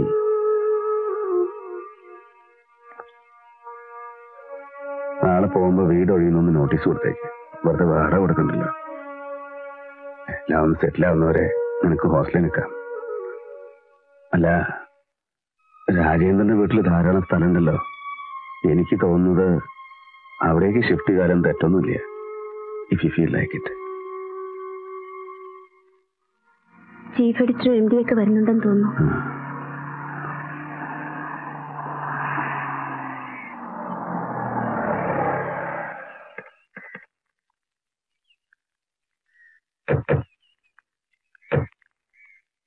ആർക്കോ ആവോ കൂട്ടാൻ വെക്കാൻ പാടില്ലായ മാത്രമേ ഉള്ളൂ. ആ കന്നടക്കാരനില്ലേ അയാൾ ആ കമ്പനിയുടെ മാനേജിംഗ് ഡയറക്ടർ. ശരിമേ കുറച്ച് ചായ മുകളിലേക്ക്. ഞാനൊന്ന് കുളിക്കാൻ കയറുകയാണ് ദുർഗ വന്നിട്ടില്ലേ ഇന്ന്? ദുർഗ കമ്പനികളുടെ മാതിരി ഷിഫ്റ്റ് അല്ലേ? മാലിന്യ ഉള്ളപ്പോ സ്വന്തം ഗൃഹഭരണം. മാലിന്യ പോയാ ഇവിടെ ഫുൾ ടൈം ഡ്യൂട്ടി നിൽക്കൂ. മാലിന്യോട് ഒരു കാര്യം. അല്ല പറയണേലൊന്നും വിചാരിക്കരുത്. രവിയുടെ ഓഫീസിൽ ഒരാൾ മരിച്ച സ്വന്തക്കാരുടെ ഒരാൾക്ക് പണി കൊടുക്കുന്നത് കേട്ടിട്ടുണ്ട്. അങ്ങനെയില്ലേ? എന്തോ? അറിഞ്ഞൂടാ. ഉണ്ട്.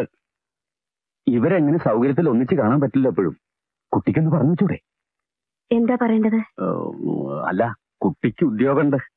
നമ്മുടെ മൂത്ത ആളില്ലേ കാർത്തി? അവർക്ക് നാട്ടിലേക്ക് വരുന്നുണ്ട്. കൃഷ്ണൻകുട്ടിക്ക് ബോംബെയിലെ പണി കൊണ്ട് ഒരു മേലഗതി ഉണ്ടാവില്ല. അരിഷ്ടിച്ചാ കഴിയണതേ. മനസ്സിലായില്ല.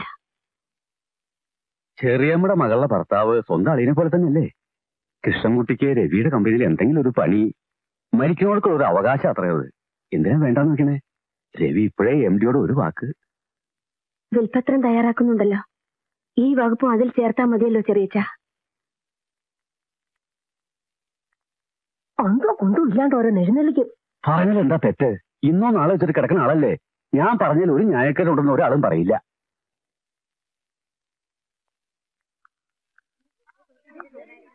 Malini how are things easy better I know your problems extra hours എടുത്തിട്ട് പോഷൻ തീർത്തോളൂ. സ്റ്റുഡൻസിനോട് നമുക്ക് റെസ്പോൺസിബിലിറ്റി ഉണ്ടല്ലോ. ദയും കാരുണ്യൊക്കെ പ്രാർത്ഥനയിൽ. ഇപ്പൊ മനസ്സിലായില്ലേ മാലിനി?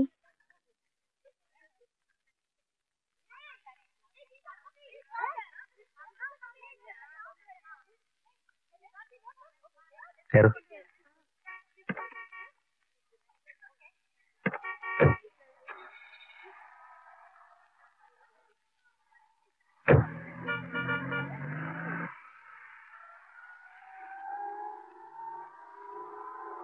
വേലക്കാരുടെ പ്രശ്നം എന്തായി വന്നു. ഞാൻ ഉച്ചയ്ക്ക് വിളിച്ചിരുന്നു.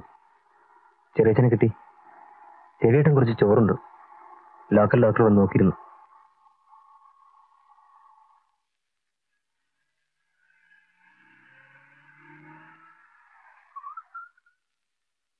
എനിക്കൊരു ബയർ വന്നിട്ടുണ്ട്. ഒരു ജപ്പാൻകാരൻ. അയാളുടെ വൈഫുണ്ട്. അവരെ സീ ഫേസിൽ ഡിന്നറിന് വിളിച്ചിട്ടുണ്ട്. എട്ട് മണി. റെഡി ആയിരിക്കും. ഞാൻ ഏഴേ മുക്കാലിന് ഒന്ന് പിക്കപ്പ് ചെയ്യാം. അയ്യോ ഞാൻ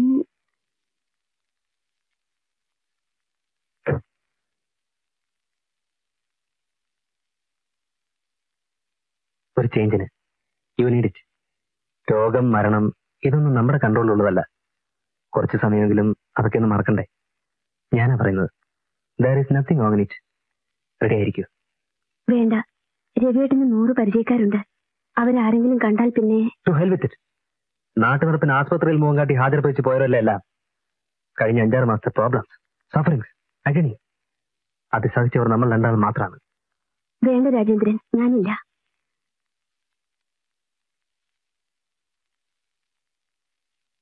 ശരി വേണ്ട. യു ആർ റൈറ്റ്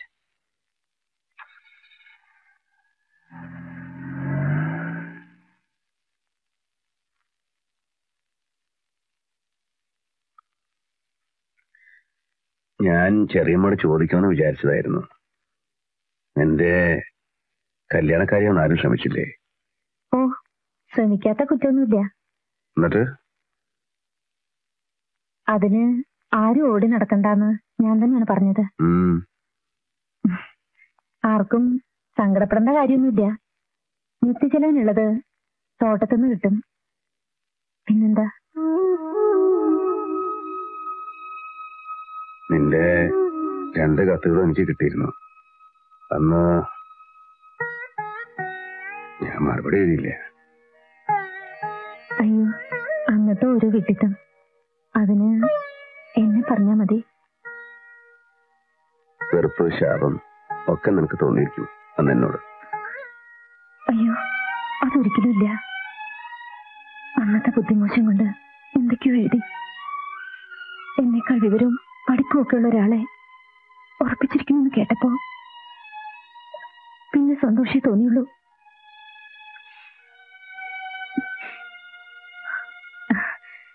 ഏടത്തിനെ പറ്റി ഞാൻ ഇങ്ങനെയൊന്നുമല്ല വിചാരിച്ചിരുന്നത്. കോടീശ്വരനാണ് അച്ഛൻ. ഒറ്റ മകളെന്നൊക്കെ കേട്ടു. കണ്ടപ്പോ ആ പ്രതാപം ഒന്നുമില്ല പെരുമാറ്റത്തിൽ.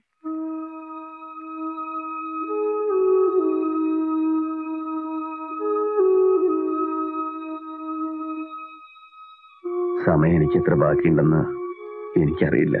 അയ്യോ അങ്ങനെയൊന്നും പറയരുത്. പഠിപ്പ് കഴിഞ്ഞ് തെണ്ടി തിരിയാൻ തുടങ്ങിയപ്പോ ഞാൻ മറ്റൊരു ലോകത്തിലായിരുന്നു. നാട് വീട് ഒന്നും മനസ്സിലില്ലാത്ത അവസ്ഥ. കുട്ടിക്കളികളുടെ അധ്യായത്തിലെ വാക്കിനും വരികൾക്കുമൊക്കെ നീ ഒരുപാട് അർത്ഥം കണ്ടിരുന്നു. അതൊക്കെ നീ മനസ്സിൽ സൂക്ഷിച്ചിരുന്നു എന്ന് കത്ത് വായിച്ചപ്പോ ഞാൻ തേങ്ങിപ്പോയി. സത്യം. പക്ഷേ വൈകിപ്പോയിരുന്നു ഇനിയിപ്പൊ അതൊക്കെ വിചാരിച്ച് വിഷമിക്കേണ്ട കാര്യമില്ല. ഒക്കെ ഓരോരുത്തരുടെ യോഗാന്ന് നിശ്ചയിച്ചാ മതിയല്ലോ. നടക്കട്ടെ. ഇപ്പോഴെന്തെങ്കിലും വേണോ? ഇപ്പൊ ഇതൊക്കെ പറഞ്ഞിട്ട് നിനക്കൊരു പ്രയോജനമില്ല എന്നാലും പറയാതെ വയ്യ. നിന്റെ കത്തിലെ വരികൾ നേറിപ്പുകഞ്ഞുകൊണ്ട് ഇപ്പോഴും മനസ്സിൽ കിടാതെ കിടക്കും ഒരുപാട് ഒരുപാട് സന്ദർഭങ്ങളിൽ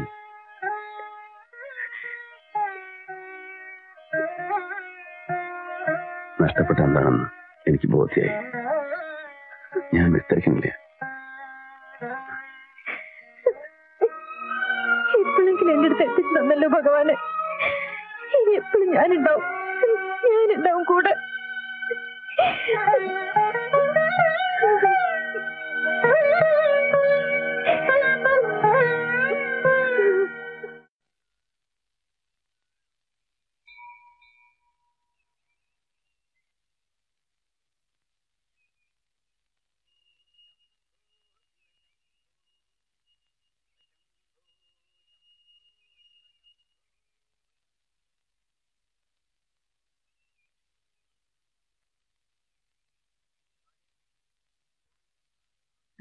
ഇവിടെ അടുത്തൊരു ധന്വന്തരി ക്ഷേത്രം ഉണ്ടോ ചേച്ചി? ഇല്ല. അത് പട്ടാമ്പിക്ക് അടുത്തല്ലേ? ഇവിടെ അല്ല സാർ. ചേച്ചി രവി സാറിന്റെ ബന്ധത്തിലുള്ളതാണ്. ഡോക്ടർ ഉള്ളി വലിയ ഡോക്ടറാണ്. ശിവൻ വൈദ്യനാഥനാണ്. ദേവിക്ക് പ്രാർത്ഥനയിലൊന്നും വിശ്വാസം കാണില്ല അല്ലേ?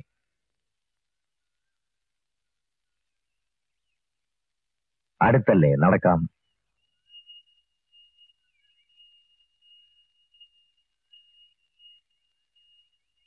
കരിമുത്തിൽ എവിടെങ്കിലും കണ്ടുണ്ടോ ബാബു? വയലിലൊക്കെ ഉണ്ട്. വരുന്ന വഴിക്ക് ഇഷ്ടം പോലെ കണ്ടു. അത് വെളുത്ത മുത്തിലാണ്. മുമ്പൊക്കെ ഓരോ പറമ്പിലും എത്ര മെഡിസിൻ പ്ലാന്റ്സ് ഉണ്ടായിരുന്നു. എല്ലാം പോയി.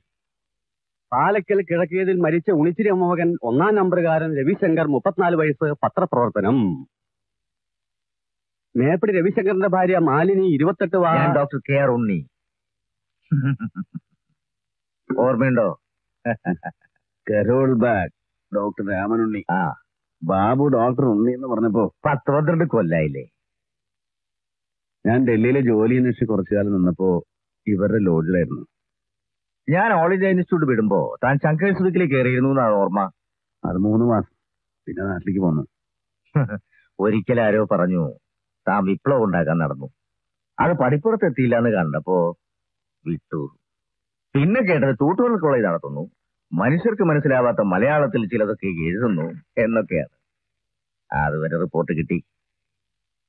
ശേഷം കഥ. ശിഷ്യൻ ബാബു പ്രസാദിൽ നിന്നറിഞ്ഞു.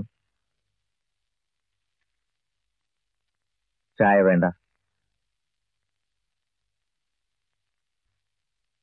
ഞാൻ ഡോക്ടറെ പറ്റി ഒരു ഫീച്ചർ ചെയ്തിട്ടുണ്ട് സാർ ഞാൻ ഡോക്ടർ റഹീമുമായിട്ട് സംസാരിച്ചു. റഹീമിനെ എനിക്കറിയാം. വാഷിംഗ്ടണിൽ ഒരു കോൺഫറൻസിന് വന്നപ്പോ എന്റെ കൂടെയാണ് താമസിച്ചത്. ഈസ് ഗുഡ് പക്ഷെ രവി ഇങ്ങോട്ട് പോകുന്നത് വളരെ നന്നായി. അവസാനം ഇവിടെ മതിയെന്ന് നിശ്ചയിച്ചു. സെന്റിമെന്റ്സ് എന്നോ നൊസ്റ്റാലജി എന്നോ എന്ത് വേണമെങ്കിൽ പറയാം. അപ്പോ ഇയാൾ തോൽവി പറഞ്ഞ് മരിക്കാൻ തയ്യാറായി വന്ന് കിടക്കുകയാണല്ലേ? വേറൊന്നും ചെയ്യാനില്ലെന്ന് ഡോക്ടർ റഹീം തന്നെയല്ലേ പറഞ്ഞത്. Is right and he's good അയാൾക്കൊന്നും ചെയ്യാനില്ല. അതും ശരിയാണ്. പക്ഷെ തനിക്ക് ചെയ്യാനാവുന്നത് താൻ ചെയ്യുന്നില്ലല്ലോ Ravi. That is bad very bad doctor ഒരു പുതിയ ഹോസ്പിറ്റൽ തുടങ്ങിയിട്ടുണ്ട്. ഊട്ടിക്കടുത്ത്. പത്രത്തിലൊക്കെ വന്നിരുന്നു. സാർ അവിടെ പോണെന്നാ ഡോക്ടർ പറയുന്നത്. ഡോക്ടർ വന്നതും കണ്ടതും വളരെ വളരെ സന്തോഷം. പക്ഷേ ഞാൻ വിളിച്ചില്ല ഈ സ്റ്റേജിൽ ഡോക്ടർക്ക് എന്നെ സഹായിക്കാനും ആവില്ല. യു ആർ റൈറ്റ് എനിക്ക് സഹായിക്കാനാവില്ല. ദ ക്വസ്റ്റ്യൻ തനിക്ക് തന്നെ സഹായിക്കാനാവുമോ? അതാണ് അറിയേണ്ടത് വേണമെങ്കിൽ നോക്കാം. Doctor Simonton radiologist University of Texas. Doctor Lawrence Sheehan. Doctor Rasheed Basiri University of Iowa. Doctor Deepak Chopra. ഇവരൊക്കെ പരീക്ഷിച്ച് അപ്രൂവ് ചെയ്ത പ്രോഗ്രാമാണ് ഞാനും ചെയ്യുന്നത്. കേൾക്കാൻ താൻ തയ്യാറുണ്ടോ? ഞാൻ ചില സിമ്പിൾ ചോദ്യങ്ങൾ ചോദിക്കുന്നു. പൊട്ടിയവരെയല്ലേ എങ്ങനെ തനിയെ കൂടിച്ചേരുന്നു? ഒന്നും ചെയ്യാതെ ഒരു മുറിവെങ്ങനെ ഉണങ്ങുന്നു? നമ്മൾ ആലോചിക്കാറില്ല. സാധാരണ സംഭവം. എങ്ങനെ? ശാസ്ത്രത്തിന് അറിയില്ല. ശാസ്ത്രത്തിന് വിവരിക്കാനാവാത്ത ഒരുപാട് പ്രക്രിയകൾ നടക്കുന്നു. എങ്ങനെ? ഉത്തരം. ശരീരത്തിന് അതിന്റെതായ ഒരു മനസ്സുണ്ട്. ബുദ്ധിയുണ്ട്. അതാണ് പ്രവർത്തിക്കുന്നത്. അനാട്ടമിക്കും ഫിസിയോളജിക്കും പിടികിട്ടാത്തതാണ് ഈ ബുദ്ധി. ശരീരത്തിന്റെ ബുദ്ധി. കീമോതെറാപ്പിയും റേഡിയേഷനും ഒക്കെ കഴിഞ്ഞതാണ് ഡോക്ടർ. ഡോക്ടർ റഹീം കണ്ട ശരീരമല്ല ഞാൻ കാണുന്നത്. കൊല്ലത്തിലൊരിക്കൽ ശരീരത്തിലെ തൊണ്ണൂറ്റെട്ട് ശതമാനം സെല്ലുകളും മാറുന്നു. മൂന്ന് മാസത്തിനിടയ്ക്ക് അസ്ഥികൂടത്തിലെ സെല്ലുകളിലൂടെ കടന്നുപോകുന്ന അണുക്കൾ മാറുന്നു. മാസത്തിലൊരിക്കൽ ചർമ്മം മാറുന്നു. ചുരുക്കത്തിൽ റഹീം കണ്ട രോഗിയല്ല ഇപ്പോഴെന്റെ മുന്നിൽ. ആ ശരീരത്തെ അല്ല ഞാൻ ചികിത്സിക്കാൻ പോകുന്നത്. ഹെറക്ലിറ്റസ് പറഞ്ഞില്ലേ ഒരു പുഴയിൽ രണ്ടു തവണ ഇറങ്ങാൻ പറ്റില്ലെന്ന്? എന്താർത്ഥം പുഴ മാറുന്നു. കാരണം വെള്ളം ഒഴുകിക്കൊണ്ടേയിരിക്കും രോഗി ആദ്യം ശരീരത്തോട് കൽപ്പിക്കണം. കീഴടങ്ങരുത്. നീയും ഞാനും ചേർന്നൊരു പടയൊരുക്കത്തിന് തയ്യാറാവൂ. ബാബു ഞാൻ മാർക്ക് ചെയ്ത ഭാഗങ്ങളൊക്കെ ഒന്ന് വായിച്ചു കൊടുക്കൂ. ആൻഡ് തിങ്ക് അബൌട്ട് ഇറ്റ് തന്റെ ഈ ശിഷ്യം കൊള്ളാം. എന്നെ ഇന്റർവ്യൂ ചെയ്യാൻ വന്നപ്പോ എന്നോട് അവസാനം ഒരു ചോദ്യം. അമേരിക്കക്കാര് നിങ്ങൾക്ക് ഭ്രാന്താണ് അല്ലെങ്കിൽ നിങ്ങളൊരു ഫ്രോഡാണ് എന്ന് പറഞ്ഞിട്ടുണ്ടോ? നൈസ് ക്വസ്റ്റ്യൻ ഭ്രാന്തന്മാർ കുറെ പേരുണ്ടെന്ന് ഈ പേപ്പേഴ്സ് നോക്കിയാൽ അറിയാം. വരട്ടെ. ഞാൻ നാളെ മോർണിംഗ് ബിഫോർ ടെൻ വരും. എന്റെ കൂടെ വരണം രവി. ഡോക്ടർ മരിക്കാൻ ഒരുങ്ങി വന്നതല്ലേ? കുറെ കൂടി നല്ല പ്രകൃതി ഭംഗിയുള്ള ഒരു സ്ഥലത്ത് കിടന്ന് മരിക്കാൻ ഞാൻ ക്ഷണിക്കുന്നു. എന്താ?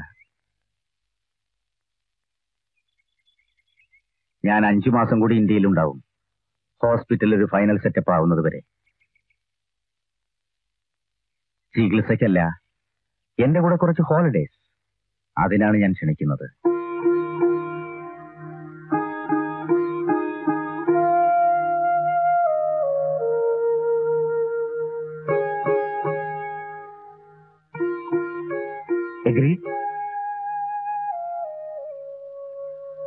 വീട്ടിൽ എങ്ങോട്ടും പോണ്ട. അന്യ നാട്ടിലൊക്കെ അയാൾ പറയണത് കേട്ട് ചെന്ന് കിടന്ന നോക്കാൻ ആരുണ്ടാവാ? ഡോക്ടർ ഉണ്ണിയുടെ പരീക്ഷണമായിട്ട് ബാക്കി വെക്കണ്ട. അയാൾക്ക് എളുപ്പത്തിൽ കിട്ടിയ എന്റെ ശരീരമാണല്ലോ ഇവിടെ.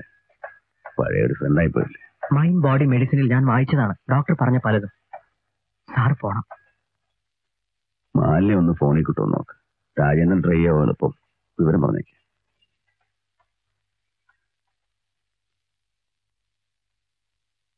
കൂടെ വന്ന് നിൽക്കാനൊന്നും അവൾക്ക് ലീവ് ഉണ്ടാവില്ല? ദുർഗയ്ക്ക് വരാനാവോ? അമ്മോട് ചോദിക്കേ. ഞാൻ വരും. എനിക്ക് ആരുടെയും ലീവ് സമ്മതം വേണ്ട. ഞാൻ നിന്നോളാം.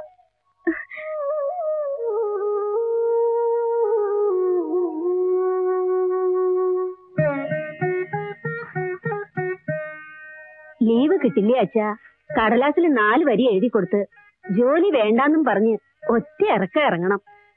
ഭർത്താവ് അത്യാസന്നായി കിടക്കുമ്പോൾ അങ്ങനെ തറവാട്ടി പറഞ്ഞ കുട്ടികളെ അച്ഛ ചെയ്യ. അതിന് എന്ത് തറവാട്? അമ്മ എന്നും മിണ്ടാണ്ടിരിക്കൂ. അമ്മയ്ക്ക് അറിയില്ലേ ഈ പഞ്ചായത്തിന്റെ അകത്ത് വിട്ട് ഞാൻ എന്നിട്ടും പോയിട്ടില്ല.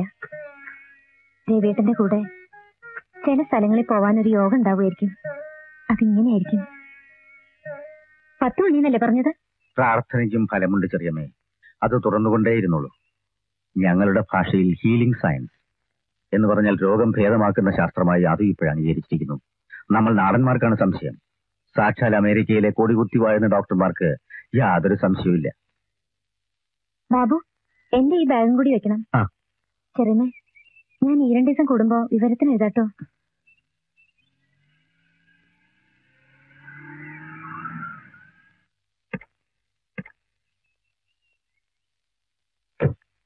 സമയത്തിനെത്തുമെന്നായിരുന്നു മാലിനിയുടെ ഭയം. ഞാൻ രാജേന്ദ്രൻ. ഹലോ. രവിയേട്ടിന്റെ ഒരു ആരാധകൻ ശിഷ്യൻ എന്നൊക്കെ പറയാം. ബാബു രാജേന്ദ്രന്റെ കൂടെ കേറിക്കോളൂ. ഞാൻ ഡോക്ടറുടെ വണ്ടിയിൽ. എന്റെ വൈഫാണ് ദുർഗയും പോന്നോട്ടെ എന്ന് ഞങ്ങൾ നിശ്ചയിച്ചു ഒരു സഹായത്തിന്. എന്തിന്? അവിടെ ഒരു സെറ്റപ്പ് ആവുന്നതുവരെ ഞാനുണ്ടാവും. ദുർഗ വരേണ്ട ആവശ്യമില്ല. പിന്നെ വേണമെങ്കിൽ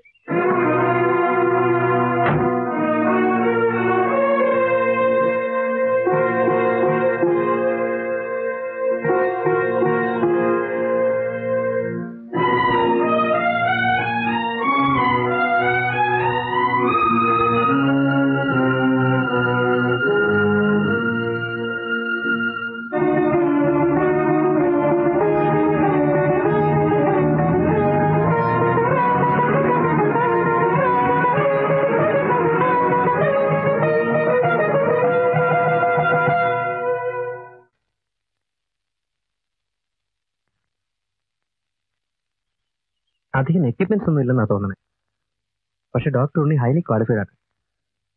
എന്നാലും രവിയൊക്കെ സമ്മതിച്ചാണ് അത്ഭുതം എന്തായാലും ഒരു ആസ്പത്രിയല്ലേ? പരിചയമുള്ളൊരു ഡോക്ടറുടെ സൂപ്പർവിഷനും ഉണ്ട്. നാട്ടിൽ കിടക്കുന്നതിനേക്കാൾ എനിക്കൊരു സമാധാനമുണ്ട്. മിസ്സസ് രവിശങ്കർ ഇവിടെ രോഗികളുടെ കൂടെ ആരും നിൽക്കണമെന്നില്ല. ഡോക്ടർ പറഞ്ഞില്ലേ? ഇല്ല പറയും. ഫ്രണ്ട്സ് റിലേറ്റീവ്സ് ഒക്കെ കൂടെ നിൽക്കുമ്പോഴാണ് രോഗി അസ്വസ്ഥനാവുന്നത്. ഇവരെയൊക്കെ വിട്ടുപോകേണ്ടി വരുമല്ലോ എന്ന് subconscious fear we want the patient to be free mentally. Doctor explain ചെയ്തു തരും. ഡോക്ടർ? ഞാൻ നോക്കാം. ആ എല്ലാം നടന്നു കണ്ടോ? ഇതൊരു ഹോസ്പിറ്റൽ കം ആശ്രമമാണെന്ന് തോന്നാം. എന്തായാലും വേദന മറന്ന് കിടക്കാൻ കഴിഞ്ഞാൽ മതി. സിസ്റ്റർ എന്തോ ആവട്ടെ. ഡോക്ടർ മാലിനി പോയിട്ട് സാറ്റർഡേ വന്നാൽ? കാളോന്നിപ്പോൾ പെട്ടെന്ന് പുറപ്പെട്ടു. പ്രിൻസിപ്പാളിനോട് പറയാൻ ഇവിടെ ഇഷ്ടം പോലെ ട്രെയിൻഡ് നേഴ്സസ് ഉണ്ട്. നമ്മുടെ വേദാന്തത്തിൽ പറയുന്നത് പോലെ സംസാര ബന്ധങ്ങളൊന്നും ശല്യം ചെയ്യാത്ത ഒരവസ്ഥ. ഓൾമോസ്റ്റ് നിർവാണ അതാണ് ശരിക്കു പറഞ്ഞാൽ ഈ സിസ്റ്റത്തിന് വേണ്ടത്. മിസ്സസ് രവിക്ക് പോകാം. ഫോൺ നമ്പറുകളൊക്കെ ഓഫീസിൽ കൊടുത്തിട്ടുണ്ടല്ലോ. ഞാൻ ഇടയ്ക്ക് വിളിക്കും. ധൈര്യമായിട്ട് പോകാം. ഡോൺ വറി ഇയാൾ എന്റെ റെസ്പോൺസിബിലിറ്റിയാണ് പതിനൊന്ന് മണിക്കാണ് ഇവിടെ ലഞ്ച് വെജിറ്റേറിയൻ അത് കഴിച്ചിട്ട് പോകാം. റൗണ്ട് കഴിഞ്ഞ് ഞാൻ വരാൻ കാത്തിരിക്കണമെന്നില്ല.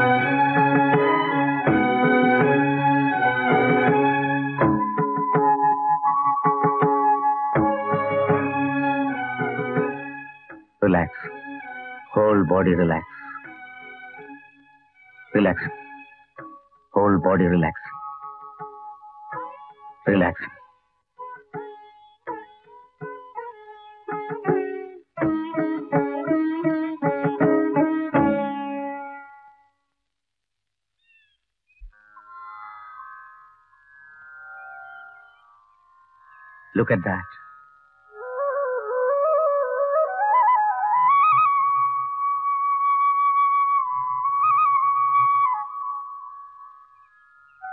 പ്രകൃതിയുടെ ഈ അത്ഭുതങ്ങളെ സൃഷ്ടിച്ച ചൈതന്യം തന്നെയാണ് നമ്മുടെ ശരീരത്തിലും പ്രവഹിക്കുന്നത്.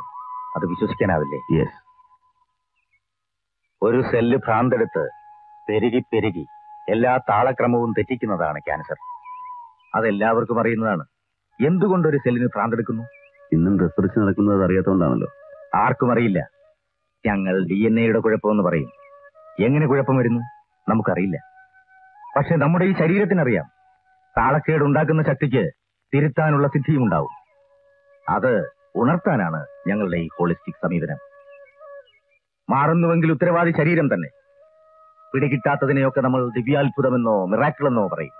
മുറി ഉണങ്ങുന്നതും എല്ലുകൂടുന്നതും മിറാക്കിളല്ലേ ഞങ്ങളുടെ സിസ്റ്റം കൊണ്ട് അമേരിക്കയിൽ ഇരുപത് ശതമാനം പേർ രക്ഷപ്പെടുന്നു. അതൊരു ഫാക്റ്റാണ്. അഞ്ചിലൊന്ന്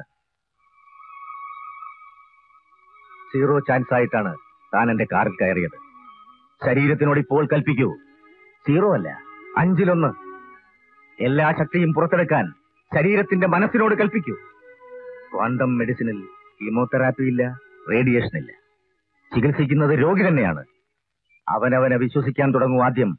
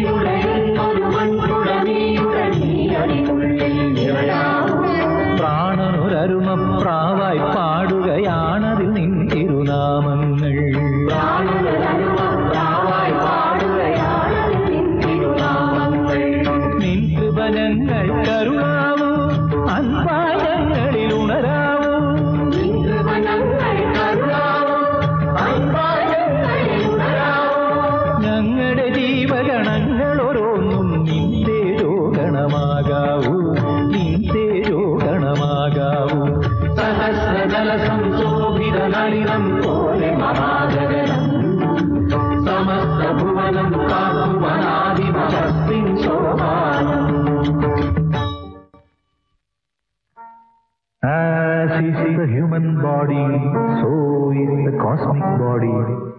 As is the human mind, so is the cosmic mind. As is the microcosm, so is the macrocosm.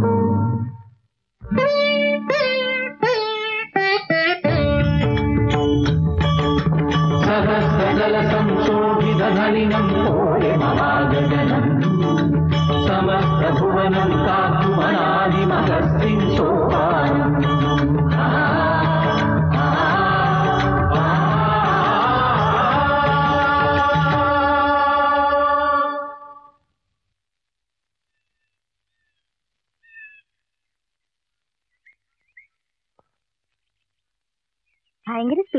നടന്ന് ഞങ്ങൾ ഒപ്പം എത്തുന്നില്ല. ഇപ്പൊ എത്ര ടൈം എടുക്കുന്നുണ്ട്? നാൽപ്പത് മിനിറ്റ്. വല്ലാത്ത ക്ഷീണമുണ്ട്. നാൽപ്പത് മിനിറ്റ് ഫാസ്റ്റായി നടന്നാൽ ഏത് മല്ലനും കുറച്ച് ക്ഷീണിക്കും. യോഗം ധ്യാനം ഓട്ടോ സജഷൻ ഇതിനെല്ലാം കൂടി ഞങ്ങൾ ഇന്നർ മെഡിസിൻ എന്നാണ് പറയുന്നത്. രവി വളരെ വൈകിയാണ് എന്റെ അടുത്ത് എത്തിയത്. അപ്പോ ഔട്ടർ മെഡിസിനും വേണം. അതിനാവുന്നത് ചെയ്യട്ടെ? Now we do a course of chemotherapy രോഗിയുടെ വിൽപ്പവർ കൊണ്ട് ചില കേസുകൾ മാറുമെന്ന് ഞങ്ങൾ ചിലർ ആദ്യം പറഞ്ഞപ്പോ അമേരിക്കയിൽ ഭൂകമ്പം. ന്യൂ ഇംഗ്ലണ്ട് മെഡിക്കൽ ജേണൽ ഒരു ഇന്ത്യൻ യക്ഷിക്കഥ എന്നാണ് പറഞ്ഞത്. പിന്നെ പലയിടത്തു നിന്ന് കേസ് ഹിസ്റ്ററികൾ വന്നപ്പോ അവരത് തിരുത്തി സമ്മതിച്ചു. ഡോക്ടർമാർക്ക് ആ ജേണൽ ഒരു ചെറിയ വേദപുസ്തകം പോലെയാണ്.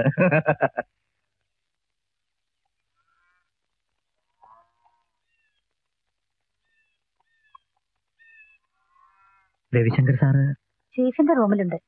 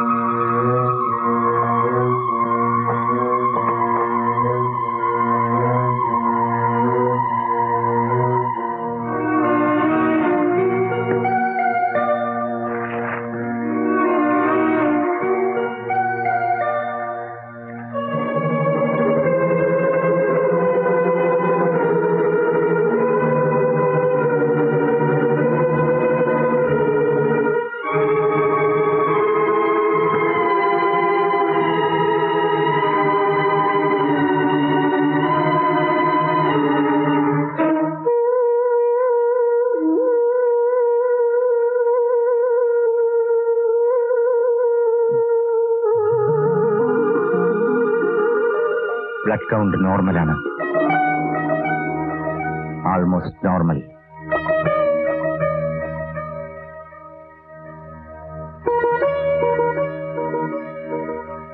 ഡോക്ടർ നോർമൽ ശരിക്കും. മിക്കവാറും എന്നാണ് പറഞ്ഞത്? എന്റെ കഴിവല്ല തന്റെ പരിശ്രമം. പിന്നെ ആ മഹാവൈദ്യനുണ്ടല്ലോ അദ്ദേഹത്തിന്റെ അനുഗ്രഹം.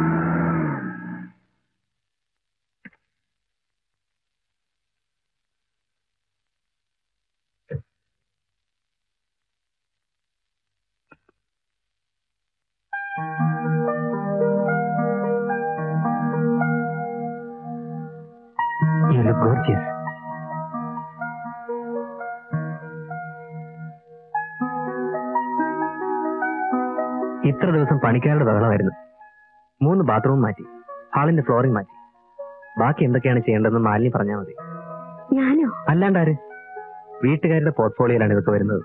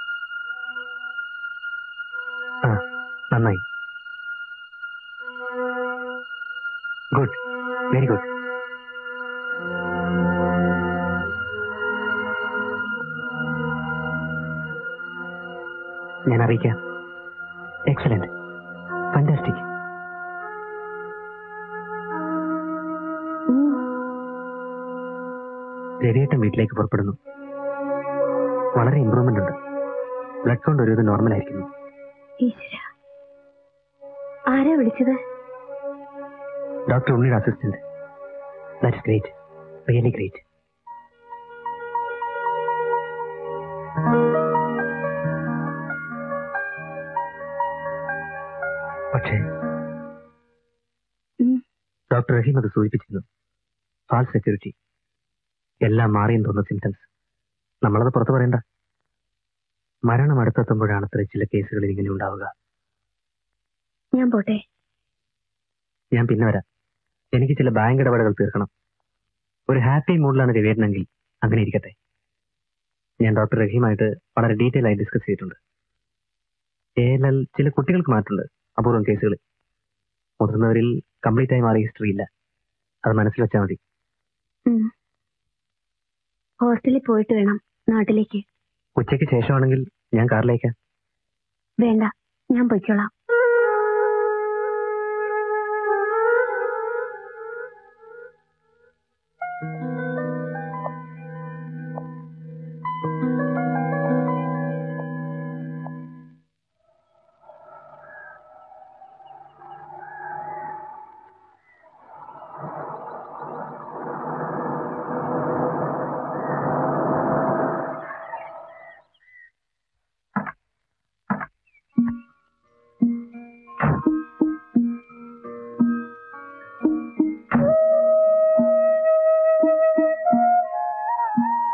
ഞാൻ നിൽക്കുന്നില്ല. ഓൾ ദി ബെസ്റ്റ് ഇപ്പൊ എങ്ങനെയുണ്ട്? രവി നിശ്ചയിക്കട്ടെ. വളരെ വ്യത്യാസം തോന്നുന്നു രമേ ഇവിടെ ഇരുന്നു കൊണ്ട് തന്നെ നമ്മുടെ റൂട്ടിംഗ് സിസ്റ്റംസ് തുറന്നുകൊണ്ട് പോകണം ബി ആക്റ്റീവ് ഞാനെല്ലാം എക്സ്പ്ലെയിൻ ചെയ്തതാണല്ലോ. വായന എഴുത്ത് നടത്തം എല്ലാം നടക്കട്ടെ. ഇരിക്കുന്നില്ലേ? ഒരു ചായ കുടിച്ചൂടെ ഡോക്ടർക്ക്? വേണ്ട. ഒന്നും വേണ്ട. എനിക്ക് ചില പതിവ് ആഹാരക്രമങ്ങളൊക്കെ ഉണ്ട്. അത് കഴിയുന്നത്ര തെറ്റിക്കാറില്ല. എന്റെ ആഹാരക്രമം വിവരിച്ചാൽ നാട്ടിലെ ആളുകൾ പരിഹസിച്ചേക്കും. അല്ലേ ബാബു? ഓട്ടെ ആ ബാബു നീ ഇടയ്ക്ക് എന്നെ വിളിക്കണം മൂന്ന് സ്ഥലത്ത് ഈ നമ്പർ എഴുതി വെച്ചിട്ടില്ലേ?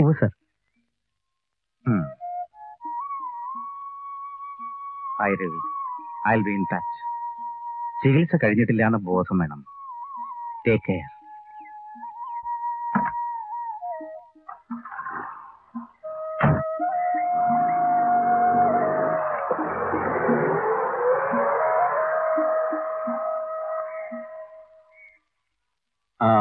പൂക്കട് മുഴുവൻ മാറി എന്നാണോ ഡോക്ടർ പറയണേ?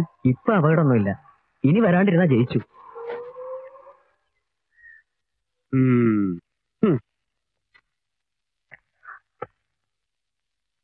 ബാബു എന്റെ പുസ്തകങ്ങളൊക്കെ ഇങ്ങോട്ട് ഷിഫ്റ്റ് ചെയ്യാൻ എന്താ വഴി?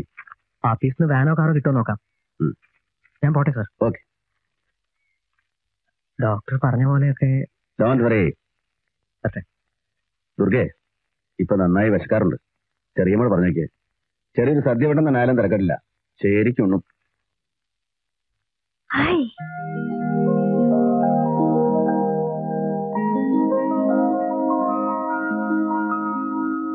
ഡോക്ടർ ഉണ്ണിയുടെ വാക്കുകളിൽ ഭൂമിയിലെ വാടക ഷീറ്റ് എങ്ങനെയോ പുതുക്കി എഴുതിയിരിക്കുന്നു. തൽക്കാലം കുടിയൊഴിയേണ്ടതില്ല എന്നാണ് അവരുടെ കണക്കൂട്ടൽ. You look all right I feel all right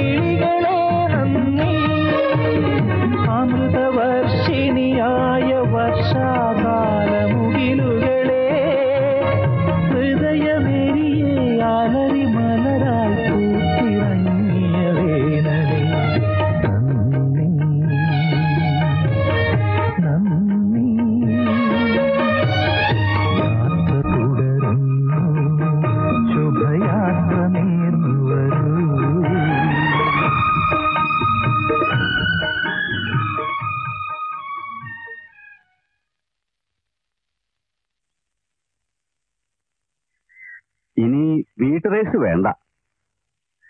ഇപ്പൊ റേഷ ഓഫീസ് നടക്കാൻ പ്രയാസം ഉണ്ടാവില്ലല്ലോ. അടുത്തല്ലേ? എന്താണ്? എന്താ കാര്യം? റൈറ്റർ കൊണന്നിട്ട് കുറച്ച് ദിവസമായി. അന്ന് പറഞ്ഞ ആധാരം തറവാട് സ്വത്ത് ട്രസ്റ്റ് ആക്കൽ. വായിച്ചു നോക്കാം. ഓ അത് അതങ്ങനെ നിൽക്കട്ടെ. അന്ന് ഞാൻ ആകപ്പാടെ ഒരു പരിഭ്രമത്തിലായപ്പോ ഇപ്പൊ നമുക്ക് ധൃതി കൂട്ടേണ്ട കാര്യമില്ലല്ലോ. ട്രസ്റ്റ് ആക്കിയ പിന്നെ വേണ്ടി വന്നാൽ ഒരു കഷ്ണം വിൽക്കാനും പറ്റില്ല. ടൗണിൽ ഒരു സ്വന്തം സ്ഥലം വേണമെന്ന് പിന്നെ മാലിനിക്ക് തോന്നിയാലോ? നമ്മൾ അതും ആലോചിക്കണ്ടേ? ഓ ഇഷ്ടം പോലെ. മുദ്രപത്രത്തിന് മുന്നൂറ് റുപ്യ. എഴുത്തുകാരന് നൂറ്റി ഇരുപത് അത് ചെറിയമ്മടയിൽ ഏൽപ്പിച്ചാൽ മതി.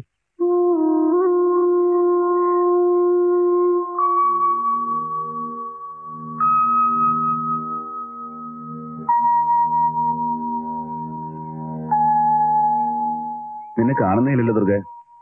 ഞാൻ രാവിലെ നേരത്തെ വരാറുണ്ട്. വാതിലടച്ചിട്ട് പ്രാണായാമ യോഗാഭ്യാസമൊക്കെ ചെയ്യുന്ന നേരാവും. വെറുതെ ശല്യപ്പെടുത്തണ്ടല്ലോ. വൈകുന്നേരം നടത്തമാണ് പ്രധാനം ഇപ്പൊ ഒരു മണിക്കൂറോളം നടക്കും. രവിയേട്ടന്റെ ദേഹം നന്നായിട്ടുണ്ട്. ആ പാമ്പൻകാവ് വെട്ടിയത് കഷ്ടായില്ലേ? എത്ര മരങ്ങളായിരുന്നു. പഴയ മേച്ചിൽപ്പുറങ്ങളൊക്കെ കുടിയിരിപ്പുകളാക്കി കഷ്ടം മുറിച്ചു പോയല്ലോ. ഒരു സ്വകാര്യം കേൾക്കണോ. എന്റെ പഴയ ബാലാരിഷ്ടകൾ വീണ്ടും കുറേശ്ശെ തല പൊക്കണുണ്ടോ എന്നൊരു സംശയം. ഈ ചികിത്സയുടെ ഫലാവും പിന്നെ ഉഷ്ണം കൂടി കൂടി വരില്ലേ അതല്ല ഞാൻ പറഞ്ഞു വന്നത്. ചില ലേഖനങ്ങൾ പഠനങ്ങളൊക്കെ എഴുതണമെന്ന് വിചാരിച്ചിട്ടാണ് പുസ്തകങ്ങളൊക്കെ വരുത്തിയത് എഴുതാൻ മടുപ്പ്. എഴുതണമെന്ന് തോന്നുന്നതോ പഴയ വികൃതി തന്നെ. ആരോടും പറയണ്ട. കവിത. അതിനെന്താ? എഴുതന്നെ ജീവിതം തിരിച്ചു കിട്ടിയതിന് ആരോടൊക്കെയോ നന്ദി പറയാനുണ്ട്. എഴുതിയേക്കും. ചിലപ്പോൾ പ്രസിദ്ധപ്പെടുത്തുക തന്നെ ചെയ്യും. പക്ഷേ പതിവില്ലാതെ കവിതയ്ക്ക് ഒരു സമർപ്പണം ഉണ്ടാവും. വിളയൂർ ശ്രീദേവിക്ക്. തോട്ടത്തിൽ പണിക്കാരുണ്ട്. അവർക്ക് കൂലി കൊടുക്കണം. ഞാൻ പോട്ടെ.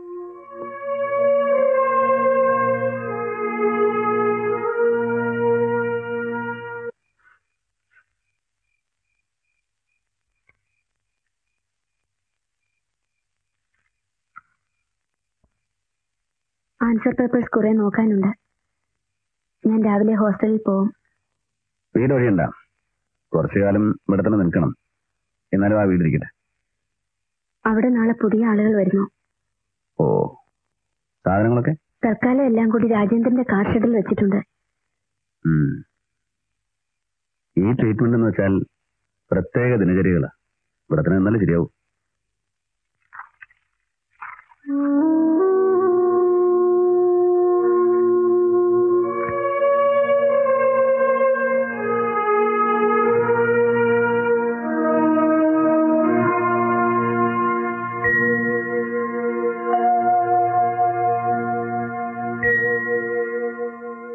Will get the samples on Wednesday. I will send it by courier. Thank you. Let me see. ഞാൻ ബാങ്കിന്റെ ചെയർമാനോട് സംസാരിക്കട്ടെ ഉം.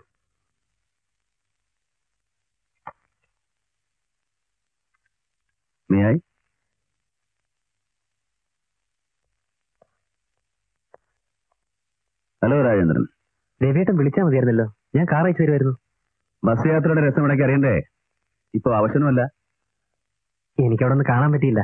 സീസൺ അല്ലേ? ബയേഴ്സ് വരാൻ തുടങ്ങിയ കൂട്ടത്തോടെ വരവ്. How do feel no first class യാത്ര പറഞ്ഞ് നഗരത്തോട് വീണ്ടും വന്നൊന്ന് കുശലം പറയണമെന്ന് തോന്നി. ചില ഫ്രണ്ട്സിനെ കാണണം.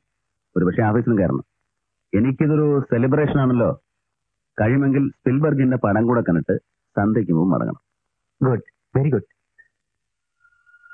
സന്ധ്യയ്ക്ക് എനിക്ക് യോഗ മെഡിറ്റേഷൻ കഷായം ഒക്കെ ഉണ്ട്. എല്ലാം പെട്ടെന്ന് കഴിക്കണം. താൻ ഫ്രീ ആണോ? ഒരു റൗണ്ട് ഫിലിം വേണ്ടെന്ന് വെക്കാം ഞാൻ ഫ്രീ അല്ലല്ലോ അർജന്റ് ആയി ചില ഫാക്സ് മെസ്സേജസ് വരാനുണ്ട്. ഉടൻ ഉടൻ റിപ്ലൈ കൊടുക്കേണ്ട കേസുകളാണ്. എറണാകുളത്ത് പോയി വണ്ടി വന്നോ? ഇല്ല സാർ വണ്ടി ഇല്ലല്ലോ. ഞാനൊരു ടാക്സി വിളിച്ചുതരാം. വേണ്ട ഞാൻ മാനേജ് അതിലും പ്രധാനം എനിക്ക് തന്നോട് വേറെയും ചിലത് സംസാരിക്കാനുണ്ട്. ആളുകൾ പുറത്ത് വെയിറ്റ് ചെയ്യുന്നു. ഈ ആഴ്ച മുഴുവൻ ഞാൻ ബിസി ഒരമണിക്കൂർ ആളുകൾ കാത്തിരിക്കുന്ന ഒരു വേട്ട ഇൻഷുറൻസുകാർ വരാൻ പറ. നൈസ് ടു സീ രവേട്ട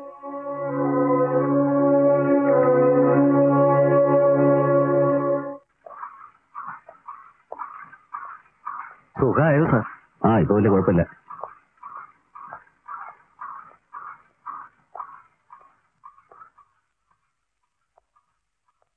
നമസ്കാരം.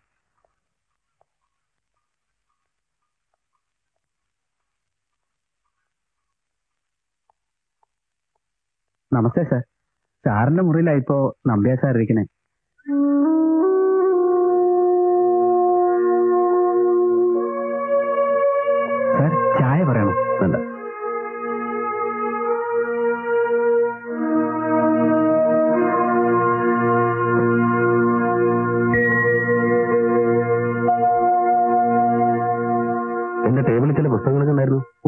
ഒന്നും സാർ.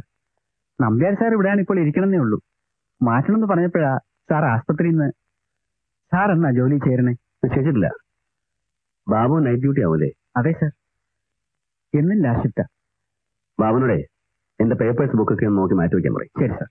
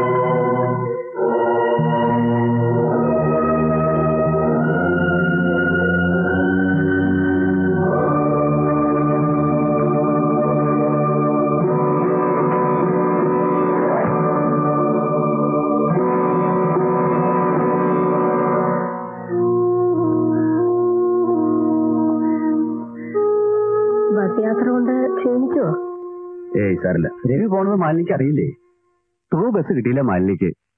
കോളേജിൽ റിസൾട്ട് തയ്യാറാക്കണ പണിയുണ്ടെന്ന് പറഞ്ഞു. ഒരുമിച്ച് പോവായിരുന്നില്ലേ? എനിക്ക് വേറെ ചില സ്ഥലങ്ങളിലും പോകാനുണ്ടായിരുന്നു. ആഫീസുകാരെ എന്ത് നിശ്ചയിച്ചു തൽക്കാലം ഞാൻ ചേരുന്നില്ല. ചെലവിനുള്ള നമുക്ക് തോട്ടത്തിൽ നിന്നും കൃഷി നോക്കിയായിട്ട് കിട്ടില്ലേ? കൃഷി ഇപ്പൊ നഷ്ടാ.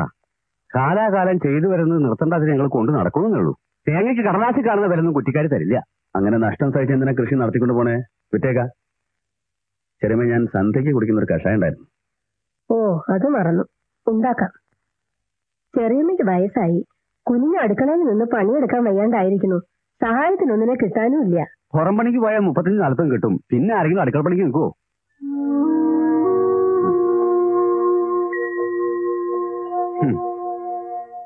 റെസ്റ്റാക്കൽ തറവാട് നിലനിർത്തൽ കാശ് കോലായിൽ ആദ്യം വെക്കണമെന്ന് തീരെ എഴുതും നോക്കിക്കോ.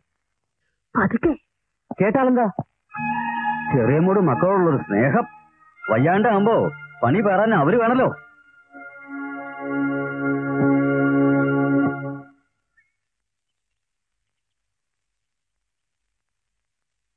കുട്ടിയമ്മയില്ലേ അമ്മ രാവിലത്തെ ബസ്സിൽ വിളയൂർക്ക് പോയി. മുത്തശ്ശിയുടെ താഴെയുള്ള അനുജത്തി മരിച്ചു എന്ന് രാത്രി ആൾ വന്നു. നീ എന്താ ഇപ്പൊ അങ്ങോട്ടും തീരെ വരാറില്ലല്ലോ സഹായത്തിന് അവിടെ എല്ലാരും ഉണ്ടല്ലോ. നീ ദിവസവും ഒന്ന് രണ്ട് മണിക്കൂർ വാ. ഉച്ചയ്ക്ക് ശേഷം മതി. നിനക്ക് ഇഷ്ടമുള്ളൊരു ജോലിയുണ്ട്. ഞാൻ പറഞ്ഞു തരുന്ന എഴുതിയെടുക്കാനാ ഞാൻ പരീക്ഷിച്ചു നോക്കി. കുറച്ച് അധികം എഴുതുമ്പോ കഴുത്തിന് വേദന. കൈക്കൊരു പറയൽ. ഏട്ടത്തിന് എഴുതില്ലേ? എന്നെ കാര്യല്ലേ? നാണുമാന്റെ മകൾ വെറും പത്താം ക്ലാസ് അല്ലേ എന്ന് ഞാൻ പറഞ്ഞു. എപ്പോഴെങ്കിലും. നാലാൾ കൂടുന്നിടത്ത് കൊണ്ടുപോകാൻ പറ്റിയ ആളെല്ലാം തോന്നിയിട്ടുണ്ടാവും. അന്ന് നാട്ടുകാരെല്ലാരും പറഞ്ഞത് ഇന്നും എനിക്ക് ഓർമ്മയുണ്ട്. ഞാൻ അങ്ങനെ പറഞ്ഞിട്ടില്ല. വിചാരിച്ചിട്ടുമില്ല. ഒരു ഘട്ടത്തിൽ അങ്ങനെ ഇതിന് സംഭവിച്ചു. ജയിച്ച് സമാസമാക്കാന്ന് വെച്ച് രണ്ടാം കളത്തിന് കരുനിർത്താൻ പറ്റില്ലല്ലോ ജീവിതത്തിൽ.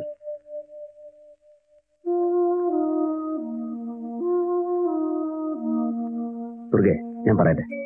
വിടൂ. കൈ വിടൂ. പണ്ട് അപഖ്യാതി കുറച്ചൊക്കെ കേട്ടിട്ടുണ്ട്. വീണ്ടും പുന്നാരം തുടങ്ങി പറയിപ്പിക്കാൻ ഇടവരുത്തണ്ട. ഞാനുണ്ട് കൂടെ? എപ്പോഴും ഞാൻ അടുത്തുണ്ട് വേദന സഹിക്കാതെ കരഞ്ഞപ്പോഴൊക്കെ എന്നെ എന്നെ സമാധാനിപ്പിച്ച നീയാണോ ഈ പറയുന്നത്? അത് എപ്പോഴാ കണ്ണടയാന്ന് വിചാരിച്ച് കിടക്കുമ്പോഴല്ലേ? അപ്പൊ പറയാൻ അവകാശം ഉണ്ടെന്ന് തോന്നി. ജീവിച്ചിരിക്കുമ്പോ അവകാശക്കാർ വേറെ ഉണ്ടല്ലോ രഹസ്യക്കാരിയാവാൻ ഞാൻ ഉദ്ദേശിച്ചിട്ടില്ല എന്ന് കൂട്ടിക്കോളൂ.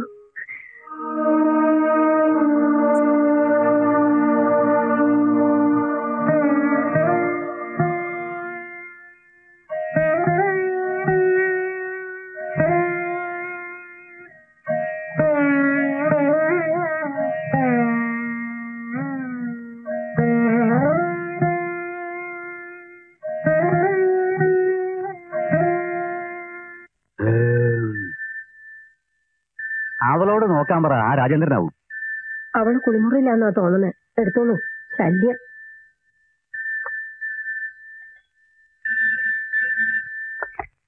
ഹലോ? ഏ? ആര്? ഏ? ആര്? കൃഷ്ണകുട്ടിയോ എന്താ കൃഷ്ണകുട്ടി കാർത്തിക്കും കുട്ടികൾക്കും? ഏ? ഹലോ? ഒന്ന് കേൾക്കില്ലല്ലോ ആ നീ ഒന്ന് വെച്ച് നോക്ക് ഏ ഞാനാ എന്താ കൃഷ്ണൻകുട്ടി? എന്ത്? കത്ത് കിട്ടിയില്ലേ? ആ. ഏ? പത്രാമത്തിലെ കാര്യോ? അതെ ഹരിജി ഇപ്പോഴ അയക്കണ്ട. ഏ? ഹരിജി അയക്കണ്ടാന്ന്. ഏ? അതിലേ. രവി ഇപ്പൊന്നും മരിക്കും തോന്നുന്നില്ല. ബാക്കി കാര്യങ്ങൾ കത്തിൽ എഴുതാം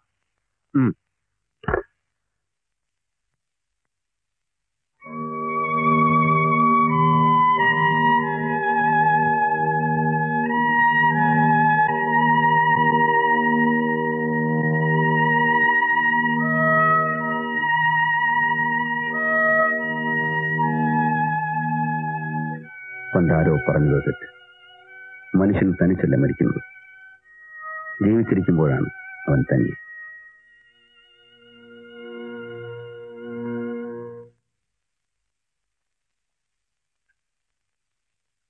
കഷായത്തിന്റെ പൊടി ഒരാഴ്ചക്കും കൂടിയേ ഉണ്ടാവൂ. അവരായിരിക്കും. രാജേന്ദ്രനെ കണ്ടതേ ഇല്ലല്ലോ അത്രയ്ക്ക് ബിസിയാണ്. എന്തോ? വയസ്സാരെങ്കിലും ഒക്കെ വരുന്നുണ്ടാവും എനിക്ക് ഒരു മേജർ വർക്ക് ചെയ്യണമെന്നുണ്ട്. ഇടയ്ക്ക് വല്ല കോളം എഴുതാം. എട്ട് മണിക്കൂർ ഡെസ്കിലിരിക്കുന്ന പണി വയ്യ. ഞാൻ ചീഫിന് എഴുതിയിട്ടുണ്ട്. കംപ്ലീറ്റ് ആയിട്ട് റിക്കവർ ചെയ്യുന്നവരെ ഇവിടെ ഒന്നോ രണ്ടോ കൊല്ലം. ഹോസ്റ്റലിൽ ഒരുവിധം സൗകര്യങ്ങളൊക്കെ ഉണ്ടല്ലോ.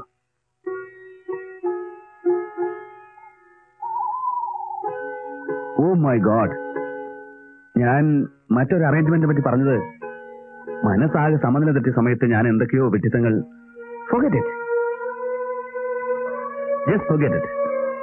ഹോസ്റ്റലിൽ താമസം വീക്കെൻഡിലെ വരവും പോക്കും ബുദ്ധിമുട്ടല്ലേ? നമുക്ക് സുഖമായി കഴിയാനുള്ള വക നമുക്ക് ഈ തോട്ടത്തിൽ നിന്ന് കിട്ടും. ഡോക്ടർ ഉണ്ണി പറഞ്ഞതുപോലെ നല്ല ഒന്നാന്തരം ശ്വസിക്കുന്ന മണ്ണ്.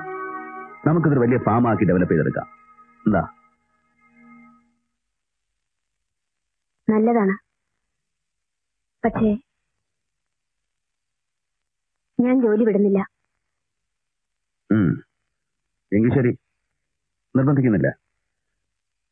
എനിക്ക് എന്റെ ജീവിതക്രമം ആകെ ഒന്ന് മാറ്റിയെടുക്കണമെന്നുണ്ട്.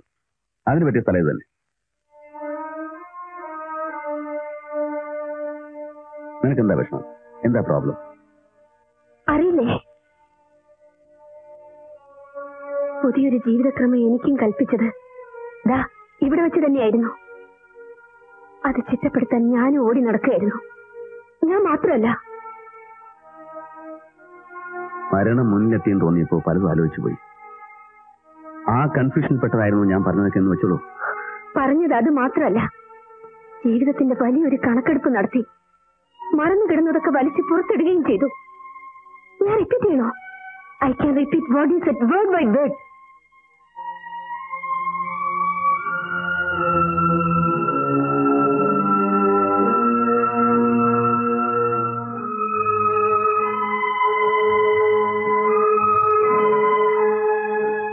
ഞാൻ പറഞ്ഞത് ഈശ്വര.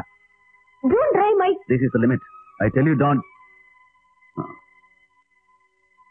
തർക്കവും തകരാറും കൂടി വരികയാണല്ലോ. സ്ഥലം വിൽക്കുന്ന കാര്യാവും. അതുകൊണ്ടാ ഇംഗ്ലീഷിലാക്കണത്. കേട്ടാലും നിങ്ങൾക്ക് മനസ്സിലാവില്ലല്ലോ. അതല്ല. അവൾക്ക് ഇവിടെ ഒന്ന് ശുശ്രൂഷിക്കാനൊന്നും പറ്റില്ല. കോളേജിൽ പോണം. കാര്യം അതാവും. എനിക്കറിയാം. പപ്പായുടെ സ്വത്തിൽ അവകാശം ഇല്ലെന്ന് വന്നപ്പോഴേ കണക്കൂട്ടൽ തെറ്റി. നീ തന്നെ അത് പറയണം. പണപ്പെട്ടി വണങ്ങി തല ഉനിക്കാൻ വയ്യാത്തതുകൊണ്ട് ജോലികൾ വലിച്ചെറിഞ്ഞ് ഞാൻ തന്നെ അത് കേൾക്കണം. പങ്കിട്ട് കഴിഞ്ഞാൽ നിത്യച്ചെലവിന് കസ്റ്റഡി എന്ന പാരൽ കോളേജ് എന്റെ മഹാസാമ്രാജ്യമായിരുന്നു. നീ കണ്ടതല്ലേ? I was free there and I was happy സ്വാതന്ത്ര്യം. ഒരുപാട് സുഹൃത്തുക്കൾ. ചെറുപ്പക്കാരുടെ മുഴുവൻ ആരാധന. ആ കൂട്ടത്തിൽ തിക്കിത്തിരക്കി മുന്നിൽ കയറി വന്ന ആളെ ഓർമ്മയുണ്ടല്ലോ? എല്ലാം വേണ്ടെന്ന് വെച്ച് ഞാൻ വിശ്വസിക്കാത്ത നൂറ് കാര്യങ്ങൾ എഴുതി നിറയ്ക്കാൻ സമ്മതിച്ച് പത്രമാഫീസിലെ പണിയേറ്റത് എന്തിനാണ്? ആലോചിച്ചിട്ടുണ്ടോ? എന്നെ വിശ്വസിച്ചിറങ്ങി പോകുന്നവൾക്ക് ഒരു വീടുണ്ടാവണം. ആർഭാടമില്ലെങ്കിലും അത്യാവശ്യങ്ങൾക്ക് മുട്ടുവരാത്ത ഒരു ചെറിയ വീട്. അതിനുവേണ്ടി തല കുനിച്ച് കുനിച്ച് നട്ടല്ല തന്നെ വളഞ്ഞു. പഴയ സഹപ്രവർത്തകർ മുഴുവൻ പുച്ഛിച്ചു. ബുദ്ധിജീവിയുടെ പരിവേഷത്തേക്കാൾ പ്രധാനമാണ്. കെട്ടിയ പെണ്ണിന്റെ സംരക്ഷണമെന്ന് അവരോടൊക്കെ പറയാൻ എനിക്കൊരു മടിയുണ്ടായില്ല. നീ കേട്ടതല്ലേ? ഇപ്പോ ഇപ്പൊ നിനക്ക് വേണമെങ്കിൽ ഒരു കാര്യം ചെയ്യാം. പോയിപ്പോയ രോഗം വേഗം തിരിച്ചു വരണമെന്ന് ഉള്ളൊരുകി ഒന്ന് പ്രാർത്ഥിക്കാം. എന്നെ പറ്റി അതാണോ ധരിച്ചത്? രക്ഷപ്പെടണമെന്ന് പ്രാർത്ഥിക്കാത്ത ഒറ്റ ദിവസമില്ല. ആരോഗ്യത്തോടെ ഇരിക്കാൻ ദൈവാനുഗ്രഹം ഉണ്ടാവട്ടെ എന്ന് ഇനിയും പ്രാർത്ഥിക്കും. ഐ ഗോ ആൻഡ് പ്രേ പക്ഷേ അതൊക്കെ മതി. കൂടെ കഴിയാൻ മാത്രം എന്നെ നിർബന്ധിക്കരുത്.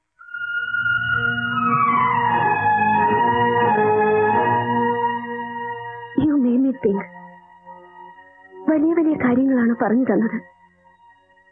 ജീവിതമെന്ന വലിയ നുണ മരണമെന്ന വലിയ സത്യം. ഞാനും കുറെ ആലോചിച്ചു.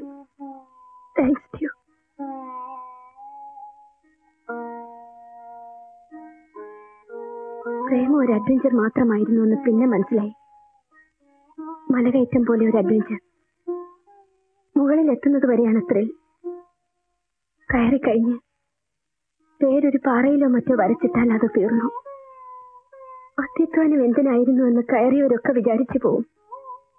Malini you don't realise what you saying adjust ചെയ്ത് അഡ്ജസ്റ്റ് ചെയ്ത് ഒരുവിധം പൊരുത്തപ്പെട്ടപ്പോൾ മാരേജ് ആകെ പരാജയമായിരുന്നു എന്ന് ഉറപ്പിച്ച് ഡിക്ലെയർ ചെയ്തത് ആരാണ്? ഞാനല്ലല്ലോ.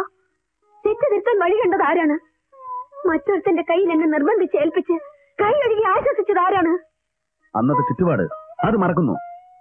അന്ന് ആലോചിച്ച് ശരി. പറഞ്ഞതും ചെയ്തതും ഒക്കെ ശരി. നൂറ് വട്ടം ശരി. പക്ഷേ ഇപ്പൊ സിറ്റുവേഷൻ മാറിയില്ലേ?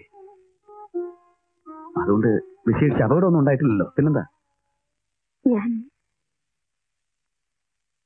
ഞാൻ രാജേന്ദ്രന്റെ കൂടെ കിടന്നു എന്നാണ് ചോദ്യമെങ്കിൽ ഇല്ല. ഹൈ സൊസൈറ്റിയുടെ ഒരു ലേബൽ പണ്ട് എനിക്ക് തന്നിട്ടുണ്ട്.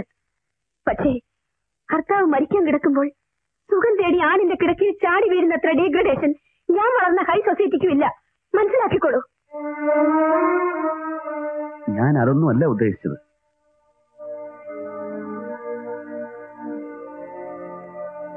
ഞാൻ എന്ത് ചെയ്യണമെന്നാണ് പറയുന്നത്? ഒന്നും വേണ്ട. രണ്ടുപേർക്കും ഒരു ബെനിഫിറ്റും കിട്ടാത്തതായിരുന്നല്ലോ ഈ വിവാഹം. നമ്മൾ രണ്ടാളും ഒരു ഘട്ടത്തിൽ അത് സമ്മതിച്ചതാണ്. എനിക്കിനി വേണ്ടത്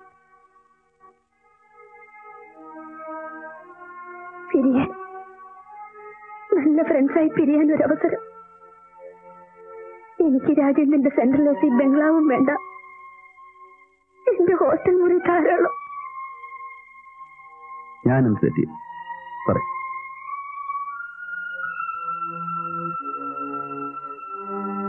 മനസ്സിലാവുന്നു. തെറ്റുകൾ മനസ്സിലാവുന്നു. ഏറ്റവും വലിയ തെറ്റ് മരിക്കാതെ ഞാൻ ജീവിതത്തിലേക്ക് തിരിച്ചു വന്നത് തന്നെ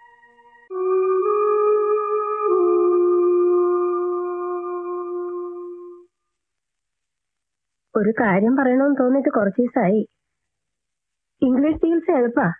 കഷായം ഗുളിക മരുന്ന് വെട്ടിത്തിളപ്പിച്ച വെള്ളം. പണിക്കാരും ഇല്ലാത്തപ്പോ എന്നെ കൊണ്ട് ഒറ്റയ്ക്ക് ഇതൊന്നും ആവില്ല കേട്ടോ.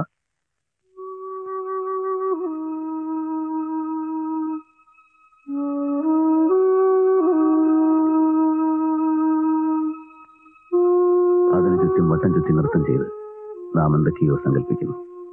മധ്യത്തിലിരിക്കുന്ന അതാകട്ടെ എല്ലാം അറിയുന്നു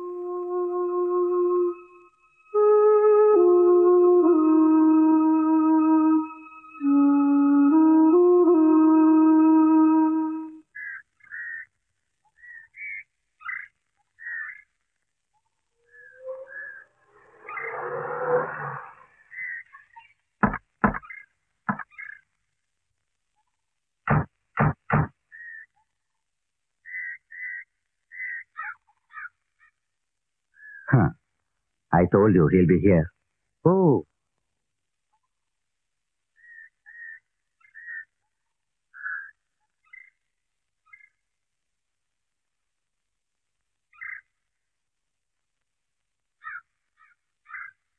ഈ സമയത്ത് ഞാൻ തനിക്ക് പ്രിസ്ക്രൈബ് ചെയ്ത റിലാക്സേഷൻ അല്ലേ? താനിപ്പോഴും എന്റെ പേഷ്യന്റ് ആണെന്ന കാര്യം ഓർമ്മയുണ്ടല്ലോ?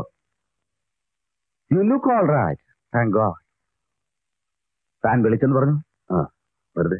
നമുക്ക് വീട്ടിൽ പോകാം. വീട്ടിൽ കയറിയിട്ടാണ് വരുന്നത്. ഇളനീര് കുടിച്ചു. സായിപ്പ് ചെറിയമ്മയുടെ ഒരു ഫോട്ടോയും എടുത്തു. ഇത് doctor Paul Forshay. Ravi I told you about him ആണ്. ഇംഗ്ലീഷ് കഷ്ടിയാ. രവിയുടെ കേസ് ഹിസ്റ്ററി ഒക്കെ അറിയാം.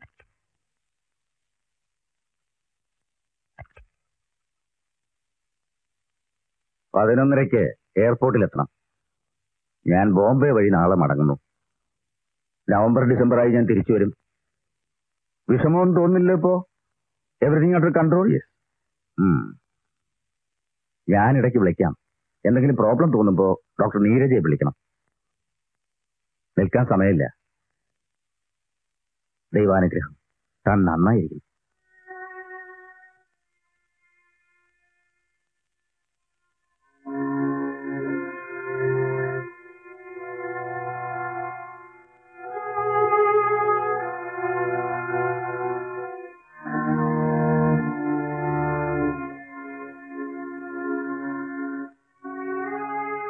എന്താ രവി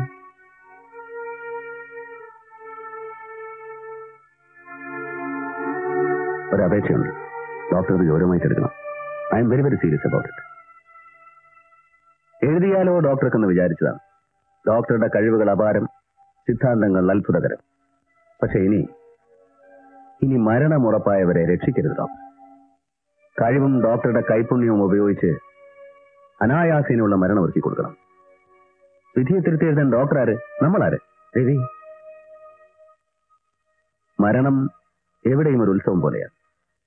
സഹതാപം എന്താണ് സത്യത്തിൽ? എനിക്കിത് വന്നില്ലല്ലോ എന്നുള്ള സന്തോഷത്തിന്റെ സ്വകാര്യ പ്രകടനം അല്ലേ? പാട്ടും കൂത്തുമായിട്ടാണ് വടക്കേന്ത്യയിൽ ശവമെടുപ്പ് ഞാൻ കണ്ടിട്ടുണ്ട്. ചെണ്ടയടിച്ച് ചാരായത്തിന്റെ ലഹരിയിൽ ആടിപ്പാടിയാണ് ശ്മശാനത്തിലേക്കുള്ള ഘോഷയാത്ര തമിഴ്നാട്ടിൽ. സായിപ്പ് മഹാനായ സായിപ്പിന്റെ നാട്ടിലെ സ്ഥിതി വായിച്ചറിവേ ഉള്ളൂ. അടക്കി കഴിഞ്ഞാൽ വീട്ടിൽ വിസ്കിയും വൈനും ഒഴുകുന്നു. സമൃദ്ധമായി. പിടവാങ്ങി ദുഃഖം മറക്കാനെന്ന് പറയും. ശല്യം തീർന്നതിന്റെ ആഘോഷമായിട്ടും കരുതാം അല്ലേ ഡോക്ടർ? നമ്മളോ മരണം ഒരു അനുഷ്ഠാന കലയാക്കി മാറ്റിയവർ. ഒരു തനത് നാടകത്തിന്റെ ചിട്ടവട്ടങ്ങളൊക്കെ ഉണ്ട് നമുക്ക് അല്ലേ? മരണം എന്നും നമുക്ക് പവിത്രം ഉദാത്തം പാവം ജീവിതം ഇവിടെ നിന്ദ്യം നിഷിദ്ധം. അല്ലേ ഡോക്ടർ? ശരി ശരി സോറി ഡോക്ടർ. എന്താ? അസുഖം വല്ലതും തോന്നുന്നുണ്ടോ? ഏയ് ഒന്നുമില്ല. ഒരു ചെറിയ സംശയം ചോദിക്കട്ടെ ഡോക്ടർ സമയമുണ്ടോ ശരീരമാണ് രോഗം മാറ്റാൻ കൽപ്പിക്കുന്നതെന്നാണല്ലോ ഡോക്ടറുടെ തിയറി. ദാറ്റ്സ് റൈറ്റ് ശരീരത്തിന്റെ മനസ്സ്. ഓ വളരെ തീക്ഷ്ണമായി ഇന്റൻസായി രോഗം തിരിച്ചു കിട്ടണമെന്ന് ശരീരം ആഗ്രഹിച്ചാലും ഫലിക്കണം അല്ലേ? മണ്ട മഹാരോഗം തിരിച്ചു കിട്ടാൻ ആരെങ്കിലും പ്രാർത്ഥിക്കുമോ? വാട്ട് നോൺസെൻസ് ഓ ചിലർ ചിലപ്പോ രോഗം വരുത്താനുള്ള തെറാപ്പി ഒന്ന് അറിഞ്ഞു വെക്കേണ്ടതായിരുന്നു. ഡോക്ടർ ശരി. എന്താ കാര്യം? ഒന്നുമില്ല. ഡോണ്ട് പ്ലേ വിത്ത് ഡെസ്റ്റിനി വീണ്ടും ഒരു ജന്മം തന്ന ശക്തി ഏതോ ആവട്ടെ. ആ കടം വീട്ടാൻ ബാധ്യസ്ഥനാണെന്ന് ഓർമ്മിക്ക്. വായിക്ക് എഴുത് കാര്യമായ എന്തെങ്കിലും വർക്ക് ചെയ്യേ. Take care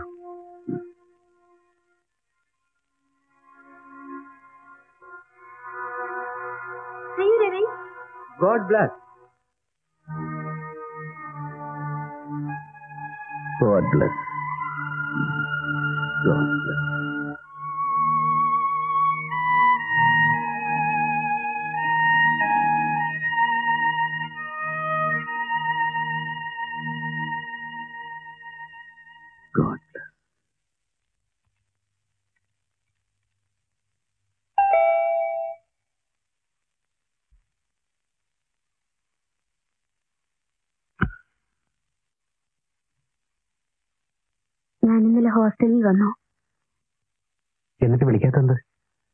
കുറച്ച് ടാബ്ലേറ്റ്സ് ഉണ്ടായിരുന്നു കഴിഞ്ഞപ്പോ ഒന്നിനും തോന്നിയില്ല.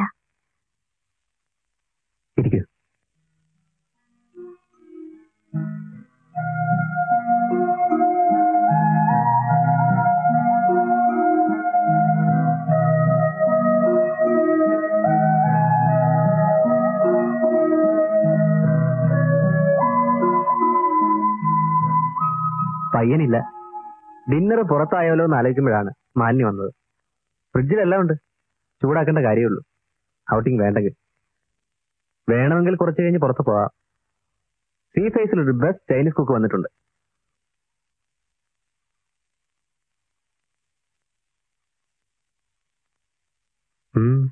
രവിയേട്ടന് പിന്നെ വല്ല ചേഞ്ച് ഇല്ല. ഒന്നുമില്ല. സുഖമുണ്ട്. വെരി നോർമൽ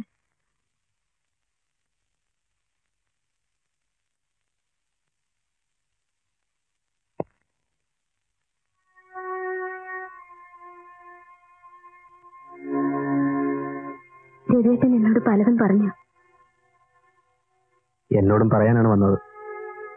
പക്ഷെ ഞാൻ ചാൻസ് കൊടുത്തില്ല. മരിക്കുന്നു എന്ന് തോന്നിയപ്പോൾ എന്തൊക്കെയാ നമ്മളോട് പറഞ്ഞില്ലേ? അതൊക്കെ തന്നെ. വീണ്ടും സംസാരിക്കേണ്ട കാര്യമില്ലല്ലോ. എല്ലാം ഞാൻ സമ്മതിച്ചാണ്. വീട് ഒരുങ്ങിക്കഴിഞ്ഞു. മാലിന്യ ഒറ്റയ്ക്ക് ഇവിടെ വിട്ട് നാട് തണ്ടാതിരിക്കാൻ എല്ലാ സ്ഥലങ്ങളിലും വേണ്ട ഏജന്റുമാരെ വെച്ചു. ഓൾ സെറ്റ് നമുക്കത് മറക്കാം. ആ ഹോൾ എപ്പിസോഡ് ആപത്തൊന്നും വരാതെ രവിയേട്ടൻ തിരിച്ചു വരികയും ചെയ്തു. ഒരു തമാശ കേട്ട പോലെ അത് വിട്ടുകളയാം നമ്മൾ കുട്ടികളല്ലല്ലോ. നമ്മൾ കുട്ടികളല്ല. അക്സെപ്റ്റഡ് ജീവിതം ഒരു തമാശക്കളിയല്ല. എഗെയിൻ അക്സെപ്റ്റഡ് പക്ഷെ ഒരാളുടെ വിങ്സ് ആൻഡ് ഫാൻസീസ് അനുസരിച്ച് അക്ഷരങ്ങൾ മായ്ക്കാനും വരുത്താനും പാകത്തിലുള്ള ഒരു മാജിക് ഫ്ലൈറ്റ് അല്ല മനുഷ്യന്റെ മനസ്സ്. കല്യാണക്കാരി എടുത്തിട്ടപ്പോൾ ഞാൻ എതിർത്തതാണ്. ഇപ്പോഴത്തെ ഒത്തുമാരത്തിന്റെ കഥയല്ല ഞാൻ പറയുന്നത്. ആറര കൊല്ലം മുമ്പുള്ള നിങ്ങൾ ഒറിജിനൽ വിവാഹം. ബുദ്ധിജീവിയായി നടന്നുകൊണ്ട് കുടുംബം പുലർത്താനാവില്ല എന്ന് വാദിച്ചു. സൗകര്യത്തിൽ കഴിയുന്ന ഒരു പെൺകുട്ടിയെ കഷ്ടപ്പെടുത്തരുതെന്ന് അപേക്ഷിച്ചു. എതിർക്കാൻ കാരണം ഈ ന്യായങ്ങളൊന്നും ആയിരുന്നില്ല എന്നത് വേറെ. ആ പെൺകുട്ടിയുടെ ആരാധന ഭൂമി രാപ്പകൽ ആദ്യ പിടിച്ചു കിടന്ന ഒരു പയ്യനുണ്ടായിരുന്നു. അവന്റെ ധ്യാനം മോഹം സ്വപ്നം ഒക്കെ അവൾക്ക് ചുറ്റും.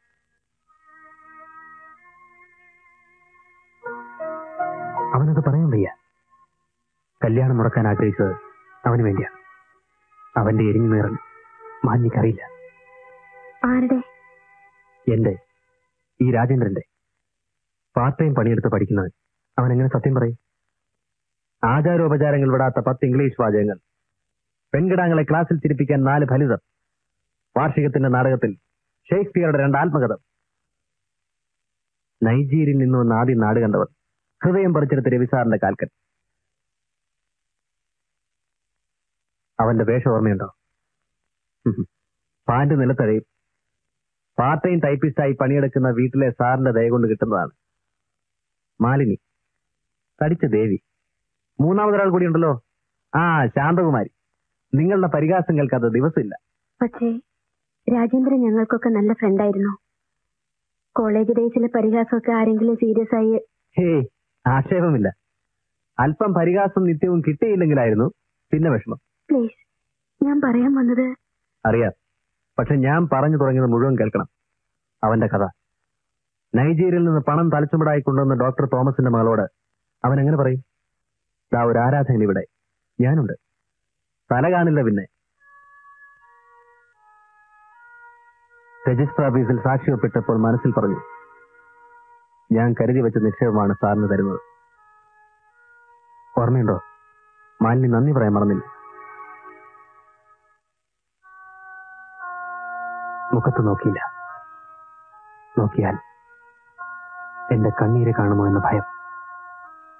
നോക്കൂ ആ പ്രായത്തിൽ എല്ലാവർക്കും അങ്ങനെ ഒരു ഇൻഫെക്ഷൻസ് തോന്നും. എനിക്കത് രവി സാറിനോടായി. അന്നത്തെ കമ്പമാവുമെന്ന് ഞാനും വിചാരിക്കാൻ ശ്രമിച്ചു. അല്ല വെറും കമ്പം ഒരു കെടാത്ത തീ പോലെ മനസ്സിൽ നീറിക്കിടക്കില്ല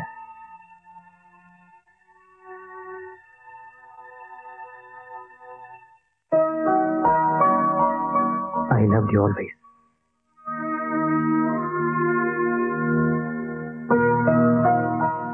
ഹോസ്പിറ്റലിൽ കാവൽ കിടന്നതും ചികിത്സയ്ക്ക് വാരിക്കോരി ചെലവ് ചെയ്തതൊക്കെ വെറും ഒരു ഗുരുഭക്തി കൊണ്ടാണെന്ന് ധരിച്ചോ.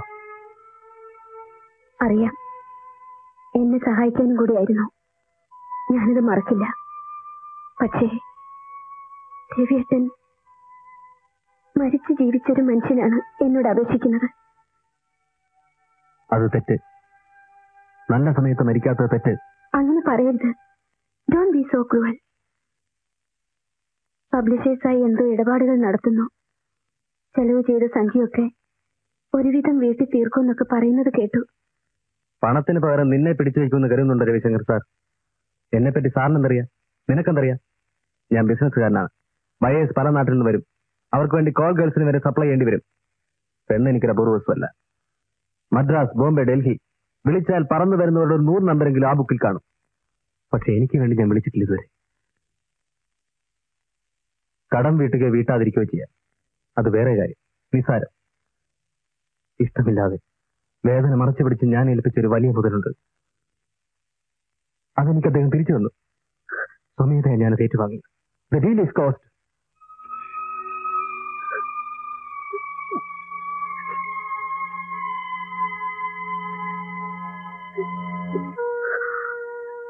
രാജേന്ദ്രൻ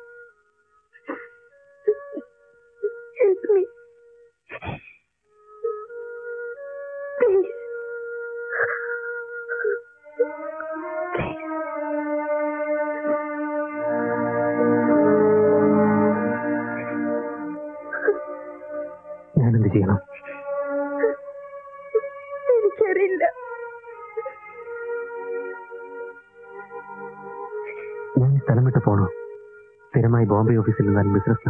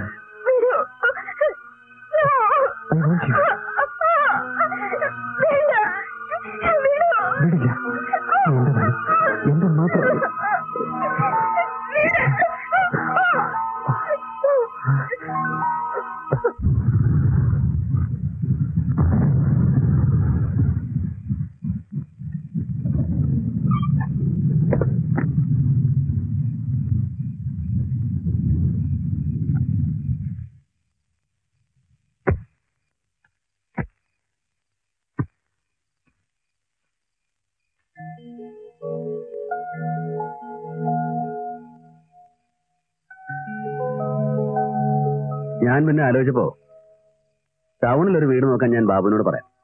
കോളേജിനടുത്ത് എവിടെയെങ്കിലും? ലൈബ്രറിയുടെ സൗകര്യം നോക്കുമ്പോ ഞാനും ടൗണിൽ താമസിക്കുന്നതാവും ബെറ്റർ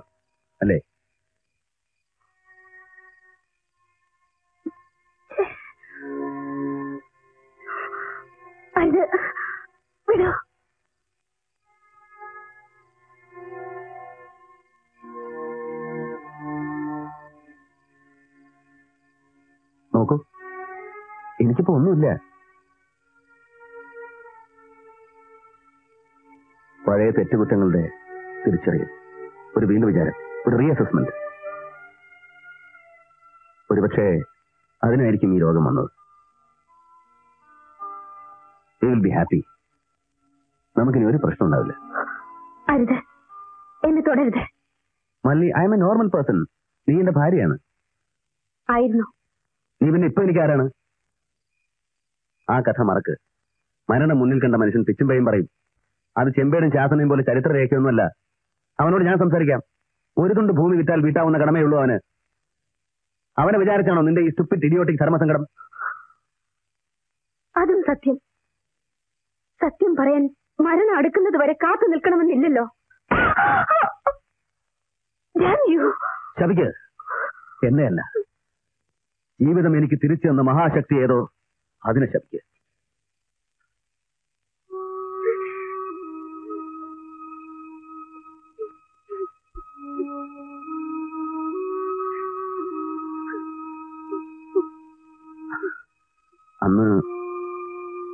നിന്നെ വിചാരിച്ച് മാത്രമായിരുന്നു എന്റെ ദുഃഖം.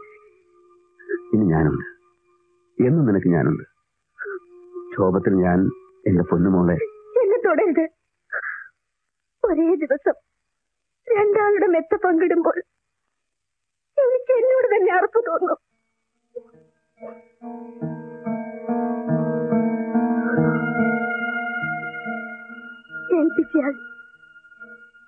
അവകാശം സ്ഥാപിച്ചു കഴിഞ്ഞു. Ha ha ha ha!